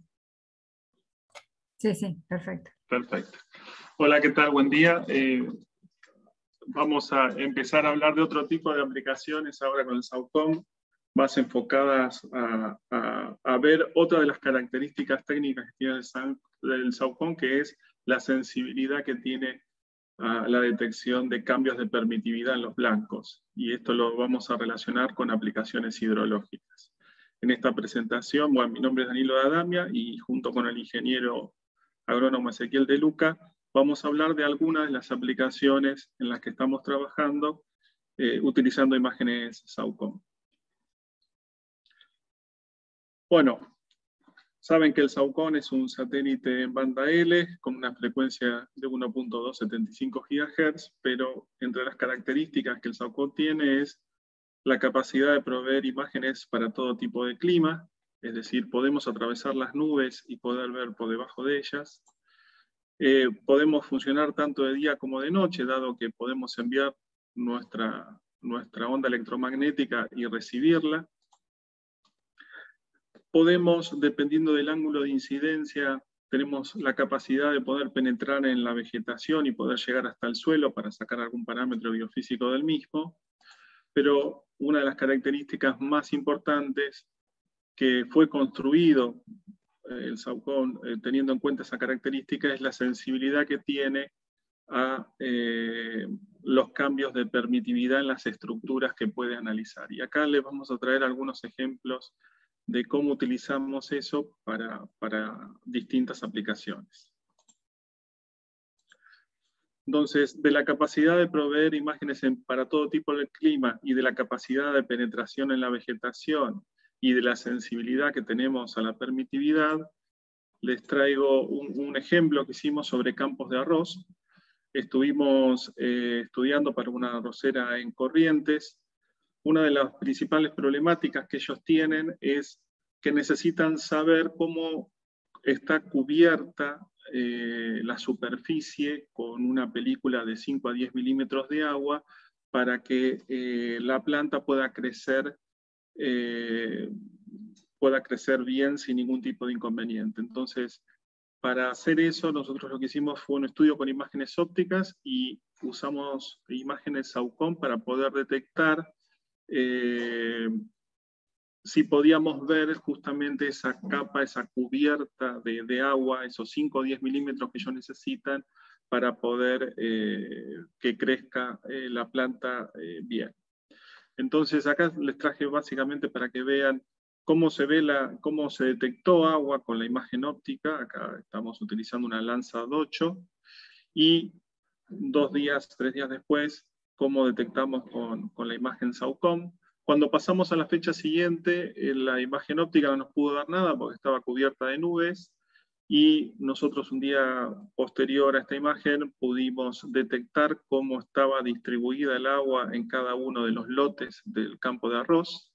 En la fecha siguiente eh, ya había crecido la cubierta vegetal, entonces la, la imagen óptica no nos permitía eh, poder detectar cuerpos de agua debido a que ya había crecido la planta y justamente utilizando ángulos de incidencias particulares pudimos nosotros detectar cómo era el llenado de agua en cada uno de esos lotes y en la última fecha, como verán, estaba cubierto de nubes y con el SAUCOM pudimos, pudimos detectarla. ¿sí? Acá es eh, una animación de cómo fue el llenado de esos lotes de agua y cómo lo pudimos detectar utilizando imágenes SAUCOM, dado la sensibilidad que tiene el SAUCOM a la detección de agua libre. Otra de las características es, y uno, uno, el main driver de la función, o sea, uno de, de los productos principales de la función, es poder detectar humedad en el suelo. Para hacer esto, nosotros tuvimos que estudiar cómo era el blanco suelo desde el punto de vista de cómo una onda electromagnética se propaga en el mismo, es decir, estudiar el suelo como un material dieléctrico. Entonces, para poder detectar agua, lo que tuvimos que ver primero es cómo la permitividad eléctrica, que es un parámetro complejo, eh, cómo era esa permitividad eléctrica, esa permitividad eléctrica eh, relativa, y eh, para, el suelo está compuesto básicamente por tres componentes, minerales, aire y agua, y eh, el agua tiene mucho mayor permitividad que el aire y los minerales, y por contraste nosotros podemos determinar eh, humedad del suelo a través de funciones que desarrollamos para eso. Y la otra característica que tiene este rango de frecuencias es que la parte real de la permitividad y la parte imaginaria, de acuerdo a la literatura, hay bastante diferencia entre ellos. Nosotros esto lo medimos en campo, esto es una curva que medimos en campo, y esto es cierto si la humedad del suelo es elevada en, el terreno, pero así todo, la capacidad de pérdidas que me puede dar esta parte imaginaria de la permitividad siempre se mantiene por debajo de la permitividad real, que es la que vamos a relacionar, esa constante eléctrica que nosotros vamos a relacionar con el agua libre que podemos llegar a tener en los suelos. Entonces, para poder hacer eso, nosotros tenemos que relacionar el parámetro de retrodispersión, o sea, lo que recibe el SAUCOM en la imagen, lo tenemos que relacionar con una función de otros parámetros del blanco que estamos censando. La permitividad del suelo, cómo es la rugosidad, sobre todo este tipo de satélites radar también es sensible a la rugosidad del terreno, con qué ángulo estamos mirando, cómo es la cubierta vegetal y bueno, qué frecuencia estamos utilizando, que en este caso eh, esta longitud de onda de 23 centímetros que utilizamos con el SAUCOM. Entonces, para generar estos modelos, estas funciones, nosotros trabajamos eh, con eh, modelos dieléctricos de suelo, acá les nombro algunos, y con modelos dieléctricos de planta. Construimos modelos dieléctricos de planta, es decir, cómo el radar ve a una planta que contiene agua eh, y cómo podemos transformar esa información en, el parámetro que nosotros estamos buscando, que era la humedad del suelo. Para eso para estos modelos electromagnéticos de planta trabajamos con investigadores de la Universidad Tor Vergata de, Italia y eh, juntos con ellos generamos eh, modelos electromagnéticos de cultivos que se adapten a la región pampiana. En particular ellos tenían modelos eh, de trigo, de maíz y de girasol que nosotros adaptamos a la región y aparte generamos nuestros propios modelos, tanto de cultivos, por ejemplo, generamos un modelo electromagnético de soja, y aparte modelos electromagnéticos de suelo, porque el tema de la siembra directa es decir, tener suelos con una cubierta vegetal, nos llevó también a tener que generar modelos de suelo que tomaran esa información y, se representaran en, en la retrodispersión. Y la relación entre la permitividad que nosotros podemos obtener de esta función y la humedad del suelo, también generamos funciones de pedotransferencia que nos relacionaran todos los parámetros que podemos llegar a tener en el suelo con la humedad para poder invertir estos modelos y poder obtener, después de todo, de todo esto, la, la humedad del suelo. Y para hacer estos estudios de pedotransferencia estuvimos trabajando con investigadores del INTA, en particular del INTA Castelar, en los cuales estuvimos tomando muestras de suelo de la región en donde tenemos calibrado y validado el modelo. La idea es poder extenderlos a otras regiones de Argentina, pero en particular estamos calibrando y validando el modelo en la región pampeana. Cuando decimos región pampeana estamos hablando de las cinco provincias, la Pampa, Buenos Aires, Santa Fe, Córdoba y Entre Ríos. Y para, para eso obtuvimos muestras de suelo de distintas regiones y empezamos a ver cómo eran esas funciones de pedotransferencia que nos relacionaban la humedad del suelo con la permitividad para todo el triángulo textural de suelo que, que abarca desde la pampa de suelos arenosos hasta suelos franco-arcillosos que podemos llegar a tener entre ríos. Y acá les traigo un ejemplo de cómo se ven los mapas de humedad. Los mapas de humedad pueden salir con dos tipos de resoluciones. Salen con resoluciones entre 150 a 800 metros, dependiendo del modo que utilizamos. Si utilizamos un modo StreamMap, donde el tamaño de píxeles es del orden de 10 metros, los mapas de humedad salen aproximadamente con un, orden de 150 metros y si utilizamos modo TOPSA, que son ya el tamaño de píxeles mucho más grande, podemos llegar a obtener mapas de humedad del orden de 800 metros. Y la, característica que tienen estos mapas es que si nosotros hacemos un zoom dentro del lote, este es el modo StreamMap para poder calcular el mapa de humedad, podemos ver la variabilidad de humedad dentro del lote.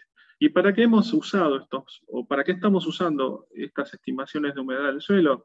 Bueno, nosotros trabajamos eh, eh, para estudiar índices de sequía, en particular con AEBRIT información al, Comité de Sequía, del cual forma parte del Ministerio de Agroindustria, eh, en el cual brindamos información de, de, humedad del suelo para determinar distintos índices de sequía a lo largo de todo el país. Luego hemos, hemos trabajado con el Servicio Meteorológico Nacional también, eh, eh, viendo y calibrando y validando eh, modelos y mapas que ellos generaban juntos con los nuestros para mejoramiento de pronóstico meteorológico. Usaban los mapas de humedad para crecimiento de cultivos, alerta en inundaciones. Después de esta charla va a venir una, una, charla justamente de eso, de cómo los mapas de humedad se pueden utilizar en cuencas para determinar eh, los niveles de caudal de, de, la misma y ver si, y dar un pronóstico de alerta de inundaciones. Y también lo hemos usado para el tema de plagas, propagación de plagas y, y enfermedades. En particular, hemos trabajado con SENASA aportando mapas de humedad del suelo para cuando hubo esa expansión de langosta sobre el territorio nacional para ver si estaban propicios los espacios de humedad en las distintas regiones para eh, que la langosta pudiera propagarse y poner sus huevos. Entonces yo necesitaban información de humedad y de temperatura y bueno, nosotros hemos, le hemos brindado mapas de, de humedad del suelo. Danilo, perdóname que te interrumpa. Eh, anda acelerando un poquito porque le tenés que dar un poco de margen a Ezequiel. Sí. Y todavía faltan dos. Falta Marcelo y falta Mauro. Dale, apuro. Esto es, sí, sí. Esto es en cuanto a, la sensibilidad que tienen los mapas de humedad eh, en, en la región que nosotros tenemos nuestro sitio experimental de calibración y validación. Este es un ejemplo de la potencialidad que tienen estos mapas fuera de la región pampeana, en lugares donde se hace riego natural. Esta es la zona de Mendoza, donde podemos ver lo que está más en celeste, los lugares donde está regado y los lugares donde está más eh, seco, que no fueron regados. Acá les traigo otro ejemplo sobre eh, áreas de riego en, cultivos en la provincia de Jujuy, de cómo dentro de, una misma área va cambiando la humedad del suelo y cómo se, cómo se ven con estos mapas. Y por último, solamente quería comentarles que aparte de la sensibilidad que nosotros podemos detectar eh, humedad, también eh, podemos, con estos modelos electromagnéticos que desarrollamos, eh, pudimos captar también la humedad, en, el contenido de agua en planta, lo que se llama Vegetation Water Content, que es otro de los parámetros que podemos sacar de estos modelos. Y ahora le voy a pasar la palabra a Ezequiel para que les cuente otro tipo de aplicaciones en las que él está trabajando. Bueno, ¿qué tal? Buenos días. Yo soy Ezequiel de Luca, eh, miembro del, grupo de aplicaciones SAOCOM. Este, lo mío va a ser cortito, simplemente mencionar que estoy recién comenzando con mi tesis de maestría en el tema de la evaluación de la dinámica de la napa freática utilizando imágenes SAR, en particular banda L. Eh, aún no, no tengo resultados, pero en este caso voy a hacer referencia a un poco el estado del arte en la temática.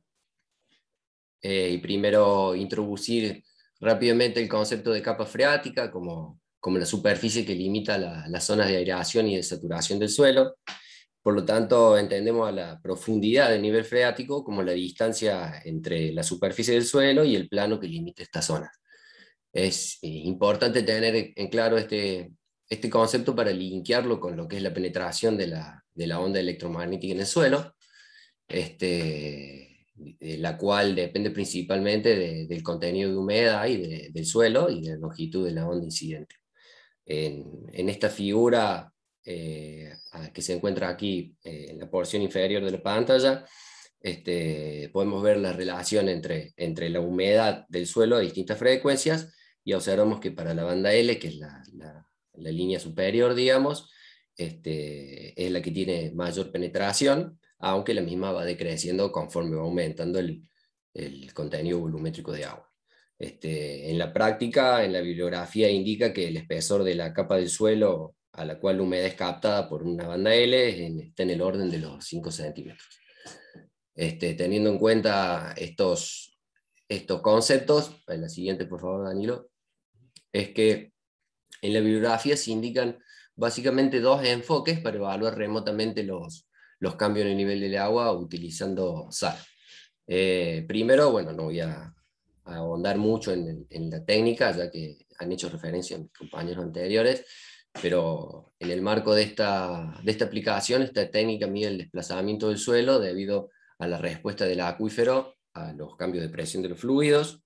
Este, aquí se ilustra un ejemplo de un interferograma que representa un, mapa de deslizamiento, este, a partir de esta información, para estimar la dinámica del agua, del agua subterránea, es necesario este, invertirlos aplicando algún modelo para recuperar los valores de, bueno, de la profundidad de la napa.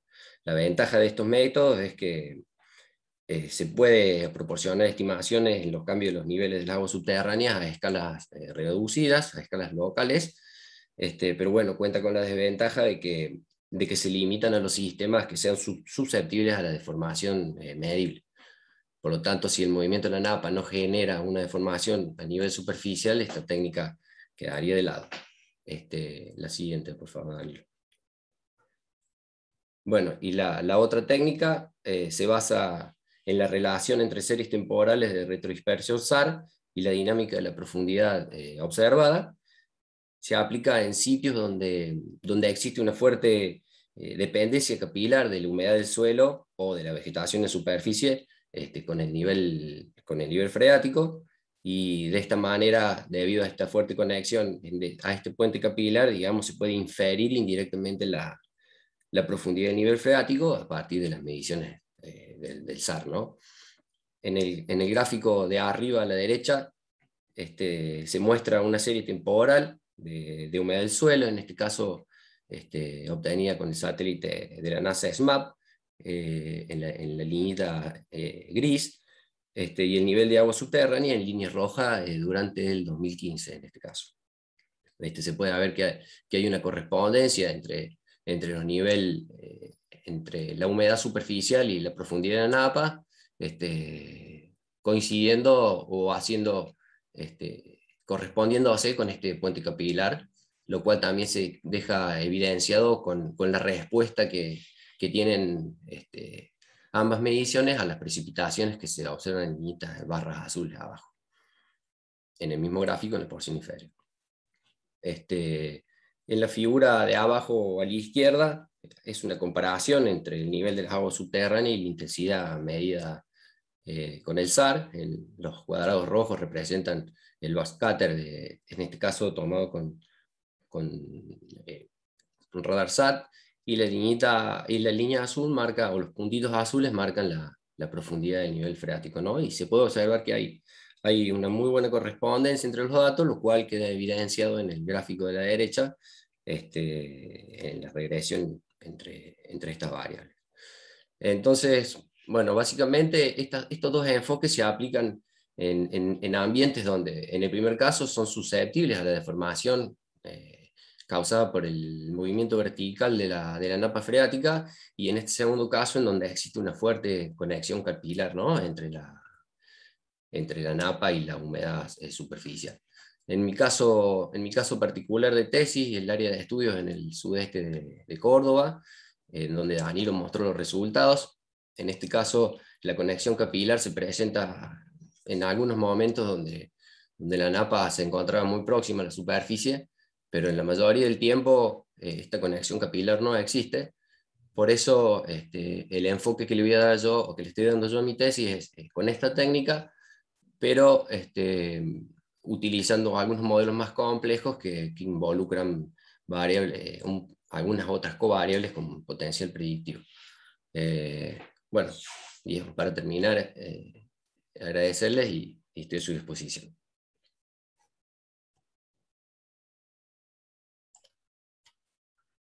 Bueno, Ezequiel, muchas gracias. Eh, y ahora seguimos con el tema eh, más bien hidrológico y pasaría a presentar Marcelo Uriburuquirno. Él nos va a hablar de el, uso de Saucón para prevención de crecidas.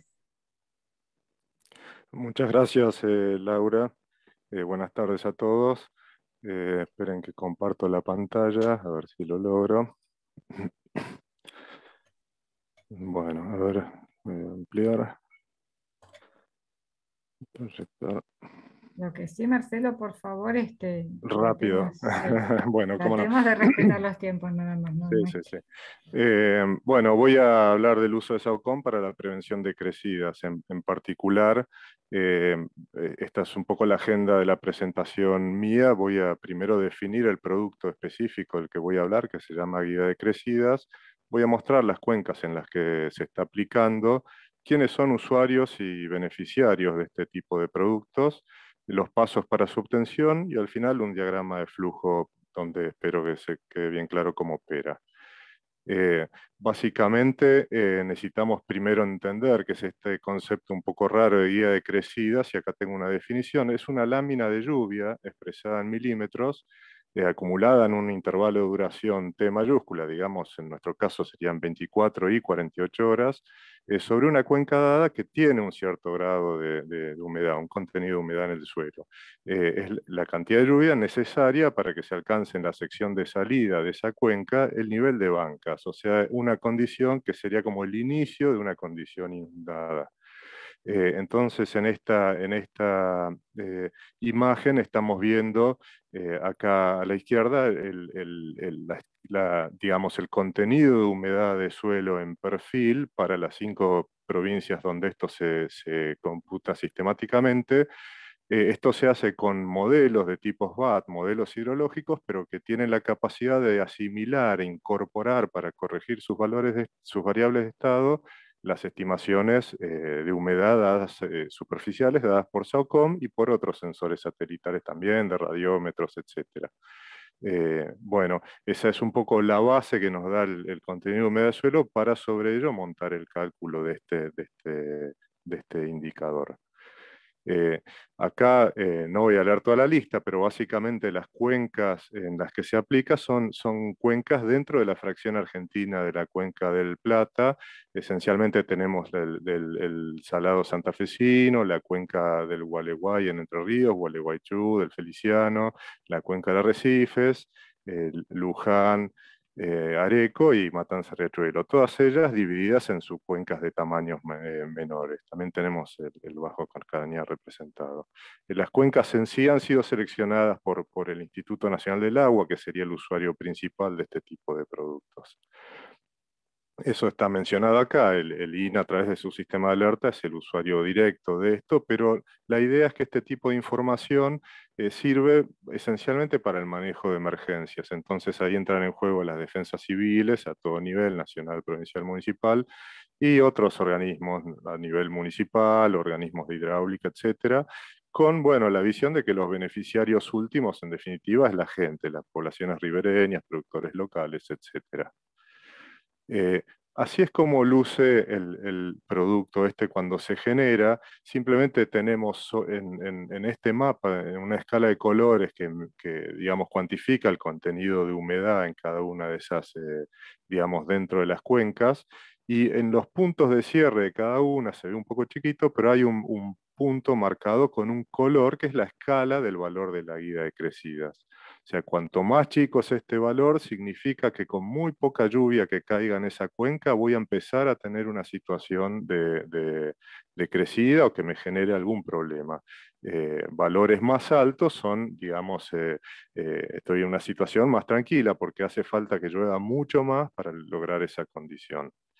Eh, esto se produce para 24 horas y para 48 horas. O sea, acá cuantificamos la lluvia necesaria en 24 horas para alcanzar el nivel de bancas y lo mismo en el caso de 48 horas.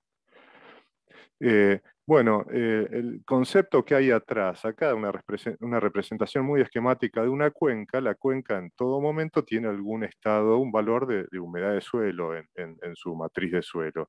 Entonces, para una cuenca que está en esta situación, cuando le cae una precipitación, naturalmente va a, generar un caudal en su punto de salida, cuyo valor va a estar comandado no solo por la cantidad de agua que está entrando por precipitación, sino por el estado de humedad con que esa cuenca recibe esa precipitación. Entonces la idea está expresada muy sucintamente en este esquema. Si la lluvia eh, que, va, que cae o, que va a caer en las próximas 24 horas coincide, digamos, es la, igual o al valor de la guía de crecidas, yo sé que el caudal pico del, hidrograma se me genere va a ser igual al valor de las bancas, que eso está representado acá abajo. Sería, como ustedes ven, una condición que no es todavía grave. Sería como que el, el cauce principal está lleno, pero en la medida que siga lloviendo por encima ese valor, ya empezamos a tener condiciones de inundación. Eh, bueno, necesitamos una definición más, no los quiero cansar con esto, pero hay, una, una, definición de lo que llama la escorrentía umbral, que es un valor, eh, digamos que eh, central dentro del cómputo de esta, de esta guía de crecidas, que en definitiva es una lámina de precipitación efectiva, o sea, es el, una vez que se le descuentan las pérdidas por infiltración y otras a la precipitación total, es la lámina que está destinada a escurrir. Eso va a generar excedente, eso va a generar caudal.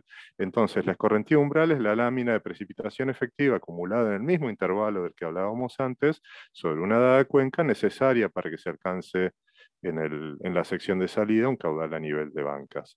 Está, bueno, la guía de crecida ya lo dije antes, acá a modo recordatorio, pero acá, digamos, la guía de crecidas es la lámina de precipitación total eh, que cae sobre la cuenca que la espera con, con un cierto contenido de humedad, y una vez que se descuenten las pérdidas por infiltración, que dependen esencialmente de, ese contenido de humedad, veremos si lo, que queda alcanza para llegar al nivel de bancas. Eh, bueno, eh, las, fuentes de información que necesitamos, estos eh, son conceptos un poco eh, específicos, bien, bien hidrológicos, pero básicamente la escorrentía umbral que les decía antes depende de cuál es el caudal al, nivel de bancas, pero a eso hay que restar el caudal que en este momento tengamos, y eso va dividido por el pico del hidrograma unitario asociado a la duración que estemos analizando. bueno, este caudal de bancas es una característica, digamos, geomorfológica de la, cuenca que se trata en su sección de salida. Normalmente sale de mediciones in situ o por regresión en función del área de cuenca. A veces también se lo vincula a cuantiles. Eh, sabemos que el caudal de bancas normalmente está vinculado a periodos de retorno del orden de, dos años. La, literatura dice entre un año y medio y seis años, dependiendo de los casos, pero sería una forma de estimarlo. El caudal base a veces, si, no tenemos observaciones en tiempo real, se puede asumir, a veces se toma un valor estacional o como fracción del caudal de bancas.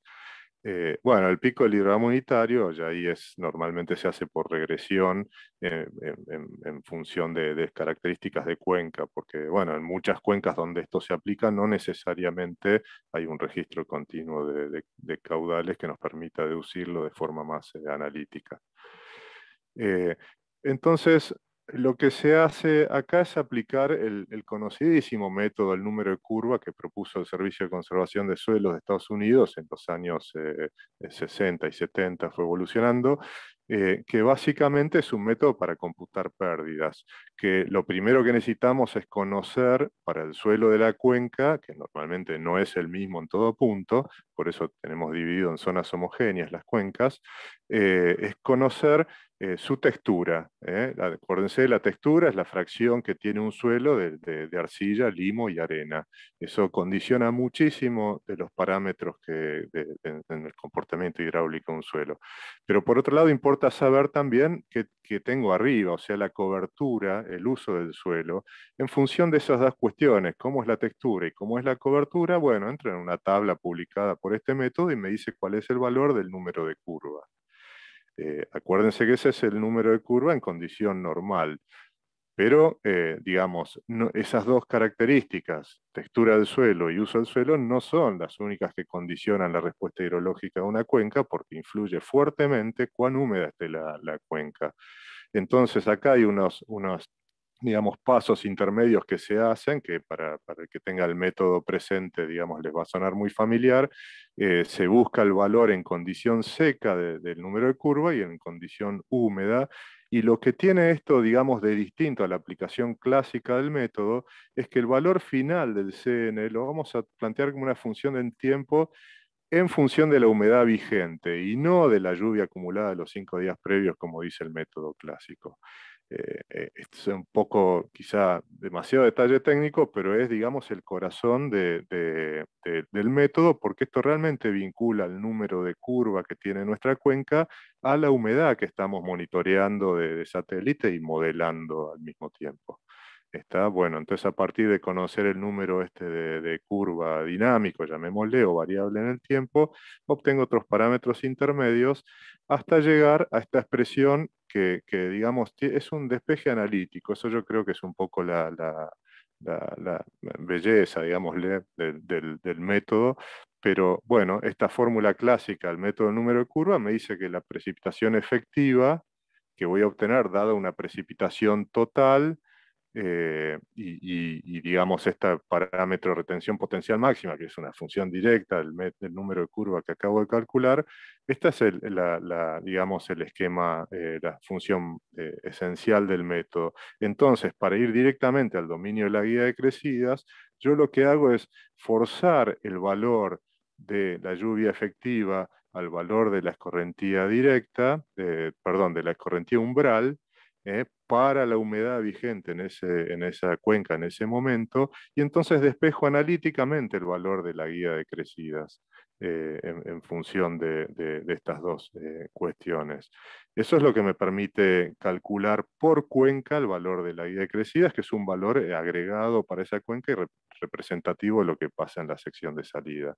Entonces, bueno, todo eso que dije de manera un poco larga y espero que, más o menos clara, digamos, puede ser un poco resumido en este esquema, en este diagrama de flujo, donde tenemos que en, el centro arriba de la imagen eh, tenemos la, estimación de humedad de suelo, que como ya dije, surge de modelación alimentada con precipitación in situ, como vemos en, la, en, la, información que entra desde la derecha, y corregida con los valores de humedad que nos da SAOCOM.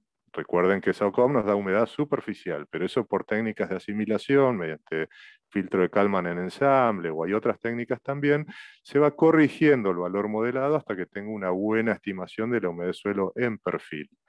Eso es lo que entra, como expliqué hace un ratito, al cálculo del valor del número de curva dinámico y finalmente deriva en esta imagen central donde tengo los valores de la guía crecida por cada una de las cuencas eh, donde lo aplico. El siguiente paso es bastante intuitivo. Marcelo, por favor, eh, Es la última, sí. Eh, el último paso es, es, intuitivo. Si yo sé que en una cuenca dada necesito, por ejemplo, 20 milímetros para que se alcance el valor de bancas, si el pronóstico vigente de lluvia para esa cuenca me dice que es de 50 milímetros, bueno, sin duda que voy a estar en una situación donde se va a acceder el valor de bancas y ahí, en todo caso, estamos en condiciones de tomar alguna decisión en terreno o de, monitoreo de una situación. Se pone el foco ahí, pues puede haber una situación, digamos, de, de crecida. Caso contrario, no. Estoy en una situación normal donde va a llover menos que lo que es necesario para tener un problema. Eso es, en definitiva, el, método explicado rápidamente, pero es un poco lo que, le quería, lo que les quería contar, así que quedo disponible para preguntas si hay tiempo más tarde. Muchas gracias. Bueno, gracias Marcelo, perdón que te corrí, eh, pero bueno, no quiero excederme tanto porque ya estamos excedidos. Eh, ahora va a presentar Mauro, nos vamos al océano, me pareció interesante eh, incluir esta, esta temática y él nos va a presentar un mapeo de la velocidad del viento con información SAR. Hola, buen día. Ahora voy a poner compartir pantalla. ¿Ahí se ve? Sí, sí. Ahí está. Ahí está. Correcto. ¿Se ve, ¿Se ve el de todo o se ve también lo de.? Bueno. Se ve completo. Ah, buenísimo. Bueno, mi nombre es Mauro López Rigori y le voy a presentar justamente eh, los trabajos que hemos realizado respecto al mapeo de la velocidad de viento en el mar, justamente con radar de apertura sintética, y dado que justamente el taller eh, es enfocado en SAOCOM, nos enfocaremos justamente en el mapeo de viento con banda L y más específicamente con, con SAOCOM. Y bueno, si bien yo presento, el trabajo fue hecho también con Mario Camurano y Marcela Jauregui, ambos también de la Gerencia de Observación de la Tierra. Bueno, eh, como modo de introducción, y voy a ser relativamente corto, es decir, en el océano justamente, es decir, cuando vemos una imagen SAR, básicamente lo que vemos es una distribución de un coeficiente de retrodispersión. Y como hace un rato mencionaba Danilo, ese coeficiente de retrodispersión en parte está justamente relacionado a la rugosidad de una superficie. En el océano, justamente esa rugosidad, y que va a ser la que va a favorecer el proceso de retrodispersión, está dada por las ondas capilares o las ondas cortas de gravedad. El mecanismo de dispersión predominante en el océano es algo que se denomina como la dispersión de Bragg, y básicamente es válido para este rango de ángulos de incidencia. Y básicamente lo que nos dice es que la mayor contribución de la energía retrodispersada, justamente, es decir, de la energía que fue emitida por el SAR e interaccionó con las ondas que existen sobre la superficie, está dada por justamente esta relación, en donde la longitud de esas ondas serán dadas por la relación entre la longitud de onda del radar y el doble del seno de ángulo de incidencia básicamente, ¿qué queremos decir con esto? Es que si tenemos el SAOCOM que emite un pulso electromagnético con una longitud de onda de 23, 23 centímetros, la máxima retrodispersión que llegará estará producida justamente por aquellas ondas cuyo longitud de onda sea de aproximadamente de 23 centímetros también, asumiendo un ángulo de 30 grados. Y eso es importante tenerlo en cuenta para más adelante, para entender que justamente la sensibilidad en cuanto a la estimación de la velocidad de viento depende justamente del tipo de banda con el que trabaje el sistema sensor. Es decir, no va a ser lo mismo utilizar un modelo hecho para banda C que para banda L. Y justamente con el lanzamiento de los primeros satélites SAR, eh, se notó y se fue justamente evidenciando la fuerte correlación que existe entre la intensidad del viento y el valor de sigma cero, es decir, el coeficiente de retrodispersión. Este es un ejemplito que pareció adecuado mostrarles, que es una imagen SAUCOM en coeficiente de retrodispersión en unidades lineales, polarización BB, iría en abril en cerca de la Isla de los Estados, y superpuesto los vectores de viento de datos de análisis del modelo ERA 5, del Centro de Previsiones Meteorológicas a plazo medio de Europa. Y fíjense ustedes que efectivamente, desde el punto de vista por lo menos cualitativo, parecería existir una correlación entre las altas velocidades de viento, donde se ve justamente mayor brillantez en sí en la imagen, mientras que en las zonas oscuras, hacia azotamiento de Isla de los Estados, se ve justamente un decaimiento de la velocidad coincidente con estos manchones, ¿no? Es decir, efectivamente podemos ver que la imagen, o por lo menos el coeficiente de retrodispersión, parece encontrarse relacionado justamente con la intensidad de viento. A lo largo de las décadas se fueron generando distintas metodologías para poder justamente extraer la velocidad de viento. Básicamente llevar este coeficiente de retrodispersión que se encuentra en unidades lineales, o decibeles si quieren, a un valor en metros por segundo o un valor en nudos. Uno de los más utilizados, tanto desde el punto de vista investigativo como en los sistemas operativos actualmente funcionando en distintas agencias, es el de la GMF, que es el acrónimo de Geophysical Model Function, y básicamente esto es una relación empírica construida, obviamente con información SAR e información, ya sea in situ o de dispersómetros o modelos, entre el sigma cero, acá le pongo NRS, que es el acrónimo de sección normalizada transversal de radar, porque muchas veces los papers los van a encontrar con estas siglas, y el ángulo de incidencia del radar, la velocidad de viento y la velocidad relativa del viento. ¿Qué es la velocidad relativa? Es la velocidad, es el ángulo entre la dirección de mirada del radar y la velocidad del viento, justamente porque no va a ser lo mismo que un frente de onda venga, estén, la, frente de las ondas estén viendo hacia donde emite el radar, que vayan en paralelo al vuelo del radar. ¿no? Entonces, si tenemos el producto SAR, tenemos estos dos parámetros. Nos falta, obviamente, tanto la velocidad como la dirección. La metodología clásica, ¿cuál es? Es extraer la dirección de una fuente externa o de la propia imagen. El problema es que de la propia imagen de, uno depende de que existan ciertos rasgos que son generados por el viento, que depende mucho de la estabilidad atmosférica y demás. Por consecuente, no se ven en todas las imágenes, entonces en el marco de un sistema operativo, por ejemplo, uno no, no sería un método adecuado. Entonces las extraemos de fuentes externas, que pueden ser modelos, boyas y demás, generalmente modelos, obviamente, introducimos todo esto en la función de modelo geofísico y básicamente lo que hacemos es invertir obteniendo la velocidad de viento para determinada combinación de parámetros. Y fíjense que estos coeficientes dependen a su vez de la frecuencia de trabajo del radar. Por consecuente, para el caso de SAUCOM, que es el satélite que hemos puesto en órbita la agencia de la Comisión Nacional de Actividades Espaciales en los últimos años, la idea justamente de desarrollar un mapa de viento fue justamente eso, utilizar un modelo de banda L en una primera etapa, un modelo banda L ya realizado con otro tipo de sensores, que no hay muchos sensores de banda L, ni mucha disponibilidad, y poder generar mapas de viento. Entonces, bueno, a continuación le vamos a presentar algunos resultados preliminares de dicho trabajo. ¿Y qué, función de modelo geofísico utilizamos para justamente de banda L para poder estimar esta velocidad de viento con el SAOCOM? Utilizamos un modelo que se llama L-Band 2009 que desarrolló Isoguchi y Shimada a partir de datos de ALOS Pulsar y dispersómetros ASCAP. Es decir, realizaron una colocación y resolvieron justamente este modelo con los parámetros son aproximadamente 28 coeficientes, cada coeficiente de estos tiene varias ecuaciones, o sea, hay un 28 coeficientes adicionales, y eh, trabaja para la copolarizada HH. Tiene ciertas limitaciones, es que es válido para velocidades menores iguales que 20 metros por segundo. ¿Eso por qué? Porque los datos que ellos tenían para hacer el, macheo entre los datos SAR y los datos de dispersómetro, no había suficiente cantidad de datos más superiores a 20 metros por segundo. Y el rango de ángulos de incidencia al que funciona entre 17 y 43 grados. Y el error medio cuadrático con respecto a la boya dio de aproximadamente un valor 1,87 metros por segundo, que generalmente todos rondan en 2 metros por segundo, o sea, modelos banda C, modelos banda L y modelos banda X. Generalmente estos son los, los valores del, del RMS típicos.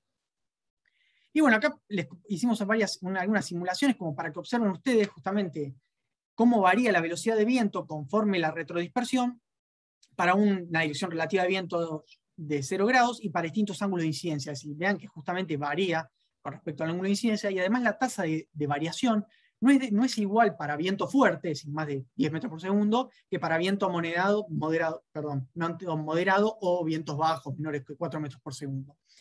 Y asimismo, existe también una variación respecto a la dirección relativa de viento, que es una variación periódica de la velocidad que se reduce justamente conforme se disminuye la velocidad. Es decir, todo este conjunto de parámetros que estamos viendo están fuertemente interrelacionados, entonces cuando uno tiene que hacer una variación o un análisis, bueno, tiene que cuantificar el error para cada caso, podría decirse, ¿no? Y bueno, acá les mostramos un par de, estas son imágenes a los Pulsar, justamente, en donde corrimos este modelo para poder comparar, para poder ver cómo, cómo nos estaba dando. Esta es una imagen muy interesante en el Golfo de Alaska, que también se presenta, es la misma que se presenta en el paper de Isoguchi. Y fíjense ustedes cómo se puede ver justamente este fenómeno que en la literatura en inglés se llama gap flat o flujos de, de brecha, que se produce justamente al pasar todo un flujo de aire que proviene de, este, de la zona de este lago, por justamente este, esta, boca que está usted, entrada, que se denomina entrada Kennedy, entre la península y esta isla, ¿no? Y fíjese cómo se puso una aceleración de flujo y cómo el radar justamente evidencia este fenómeno y nos permite además cuantificar cómo es su morfología y demás. Que si bien en este caso, por ejemplo, el modelo era 5, que es el que está superpuesto, también se observa, efectivamente no se observa con tanto detalle como es con el, con el, con el halo, ¿no? Y esta es una imagen justamente que, procesamos también con el modelo de halos y con una imagen halos para la zona de hilo de los estados, y donde se observa también una, una buena correlación entre la distribución de velocidades para el modelo, que es el que está con los vectores, y la imagen de viento de, de. Y bueno, para el caso de SAUCOM, ya definido justamente el modelo, utilizamos, estos fueron los datos que utilizamos. Para la dirección de viento, nosotros ingestamos este mismo modelo que mostraba, que es el ERA5, para, bueno, para, la, para dispersión, ángulo de incidencia, usamos productos TopSAR Narrow 1B. Y bueno, estuvimos limitados a usar justamente imágenes que se encuentren hacia la costa este de Estados Unidos, dado que allí justamente hay una buena disponibilidad de datos de boya que uno puede consultar tranquilamente, cosa que no sucede bueno, en nuestra región y en el hemisferio sur en general. ¿no? Y como requeríamos de poder validar a posteriori justamente con, información independiente, sea sea del modelo, bueno, elegimos utilizar imágenes en esta zona. Básicamente este es el, flujo de no me quiero eh, tardar mucho tiempo en explicar esto, básicamente un preprocesamiento que se hace en la imagen, se degrada la resolución para reducir el ruido especle, que es ese ruido de sal y pimienta que se puede encontrar en la imagen, luego se descarga el modelo ARA 5 para el momento de adquisición de la imagen, y lo que se hace es se coloca, es decir, cada valor de velocidad se lleva al, al, valor de píxel utilizando interpolación bilineal, y una vez que se tienen estas tres capas, se introduce en el modelo de función geofísica, se invierte el modelo, y luego finalmente, con realizados los mapas de viento, se validan con datos de boya y luego se generan productos. Esto es más importante para la etapa luego de, automatización. Y bueno, esto es lo que usamos, casi todo lo que usamos fue procesado en Python y para procesamiento usamos NAV, que es un software libre. Y también para el caso de la validación. Y bueno, con respecto a los datos de boya, básicamente algo a tener en cuenta es que cuando compara, cómo comparamos el dato de boya con el dato de, de viento de SAR, básicamente tomamos el dato de boya como, ah, me olvidé decir que el dato es, cuando calculas la velocidad de viento con SAR, el dato que se obtiene es la velocidad de viento, atmósfera neutra y a 10 metros de referencia. Entonces, justamente hay que llevar la velocidad de la boya, que se mide a una altura de anemómetro X, a, a la altura de 10 metros y luego a velocidades neutrales. Empleamos esto, ambos modelos, últimamente estamos utilizando este, y justamente obtenemos la velocidad de boya a 10 metros, velocidad neutral, y la comparamos con el promedio de las velocidades de viento en torno en un radio de 3 kilómetros eh, de, la boya sobre la imagen SAR. Y la diferencia temporal entre dato de boya y dato SAR fue de mínimo 30 minutos. Y bueno, eh, generamos algunos mapitas de viento. Eh, obviamente son resultados preliminares porque todavía estamos en una etapa de, validación y posterior calibrado. Fíjense ustedes justamente cómo se producen estas zonas de sombra, sotavento, podríamos decir, de la dirección del viento, cómo se generan lenguas de, de alta velocidad en este punto, Fíjense en esta zona, qué interesante cómo se produce una zona de sombra, sotavento de la isla, mientras que aquí se produce una cierta aceleración de flujo, cosa que, por ejemplo, si uno observa en el, en el modelo no, no, se puede detectar. ¿no? Eso es lo interesante justamente utilizar el dato SAR, que permite más que todo para lo que es el estudio costero una buena resolución, realmente de 500 a un kilómetro, de 500 metros a un kilómetro, perdón. Este es otro ejemplito en la zona de California, en donde se produce una aceleración de flujo justamente debido a estas salientes obviamente también relacionada justamente a la dirección de viento y, al ángulo que presenta la costa respecto al mismo. Y fíjense ustedes este, este fenómeno, como se observa también varios meses después, ¿no? También en, una, un mapa de viento generado por la NOAA con una imagen Sentinel. Es decir, justamente esto lo que da pauta es que también uno puede tener, a partir de combinación de utilizar distintos sensores, justamente y hacer un seguimiento de determinados procesos, y luego relacionarlos justamente con otros parámetros obtenidos, por ejemplo, con, eh, no sé, sensores de color del océano y demás. Y podemos observar aquí cómo justamente uno puede medir además las características, cómo va decayendo, probablemente por efecto friccional, esa aceleración de flujo, cómo puede uno estimar, por ejemplo, el ancho, ¿no? tiene generalmente una forma en abanico, este tipo de flujos. Y cosa que, por ejemplo, el modelo no se ve, o sea, si uno observa, por ejemplo, la velocidad de viento con el modelo, esto no está en misma escala, ¿no? pero igual, es decir, fíjense que este vector de viento correspondería a uno aproximadamente similar a este, y fíjense que en el modelo no se logra detectar que haya un flujo de mayor velocidad. Y sí, justamente se ve en, la imagen SAUCOM procesada. Y bueno, quisimos procesar también una imagen de Islas Malvinas, en donde, bueno, esta es una Topsar Y, es decir, tiene mucho mayor ancho barrido y una menor resolución que las que vimos anteriormente, pero nos parecía interesante para que fíjense cómo se produce cierto, cierto error en la estimación, uno podría decir, pero que se debe justamente a la presencia de eh, celdas de tormenta hacia el norte de Islas Malvinas, que se están justamente disponiendo en estos sectores, y bueno, genera justamente una sobreestimación de la velocidad de viento. Estos productos obviamente también tendríamos que validarlos posteriormente con, los datos de Boya. Y bueno, esto es el resultado de eh, ciertas colocaciones de, boyas que hicimos con datos de viento que obtuvimos. perdóname, por favor, no te tomes más de dos minutitos porque ya estaría. No, no, ya Ya termino, ya termino. Okay. Eh, son aproximadamente 40 colocaciones de boya SAR y nos dio aproximadamente un error medio cuadrático de la raíz del RMS de 1,63 metros por segundo, que está dentro del, rango que estábamos viendo. Y también justamente estamos haciendo análisis respecto a cómo varía con los ángulos de incidencia, cómo varía con, ángulos, con la dirección relativa y demás. La idea es obviamente aumentar este, el volumen de datos para tener ya una cantidad de datos suficiente que nos permita estimar eh, un RMS para, que el usuario justamente conozca el funcionamiento. Y bueno, finalmente, como conclusión, lo que veníamos viendo, es decir, la utilidad que tienen los datos SAR, y en especial justamente en este caso SARCOM para la estimación de velocidad de viento a altas resoluciones, las limitaciones que requiere datos auxiliares, puede haber especle, puede haber ondas internas y otros fenómenos que pueden interferir, y las limitaciones propias del modelo de banda L del Isoguchi Shimada. Y en cuanto a lineamientos futuros, finalizar la primera etapa de, validación, aumentando datos in situ, Luego implementar todo esto de manera operativa para que el usuario justamente pueda proveerse de los datos de velocidad de viento, mejorar ciertas estimaciones y la dirección de viento, desarrollar luego una, GMF a partir de estrictamente datos SOCOM y luego, por ejemplo, incorporar otros sistemas SAR en banda X, banda C, para mapear justamente velocidad de viento en la República Argentina. Y bueno, muchas gracias. Bueno, muchas gracias, Mauro. Eh, les pido disculpas a todos porque nos demoramos un poquito. Lo que pasa que que todos eh, están muy metidos en lo que están haciendo y quieren transmitir eh, lo más posible, ¿no es cierto? Por acá terminamos nosotros.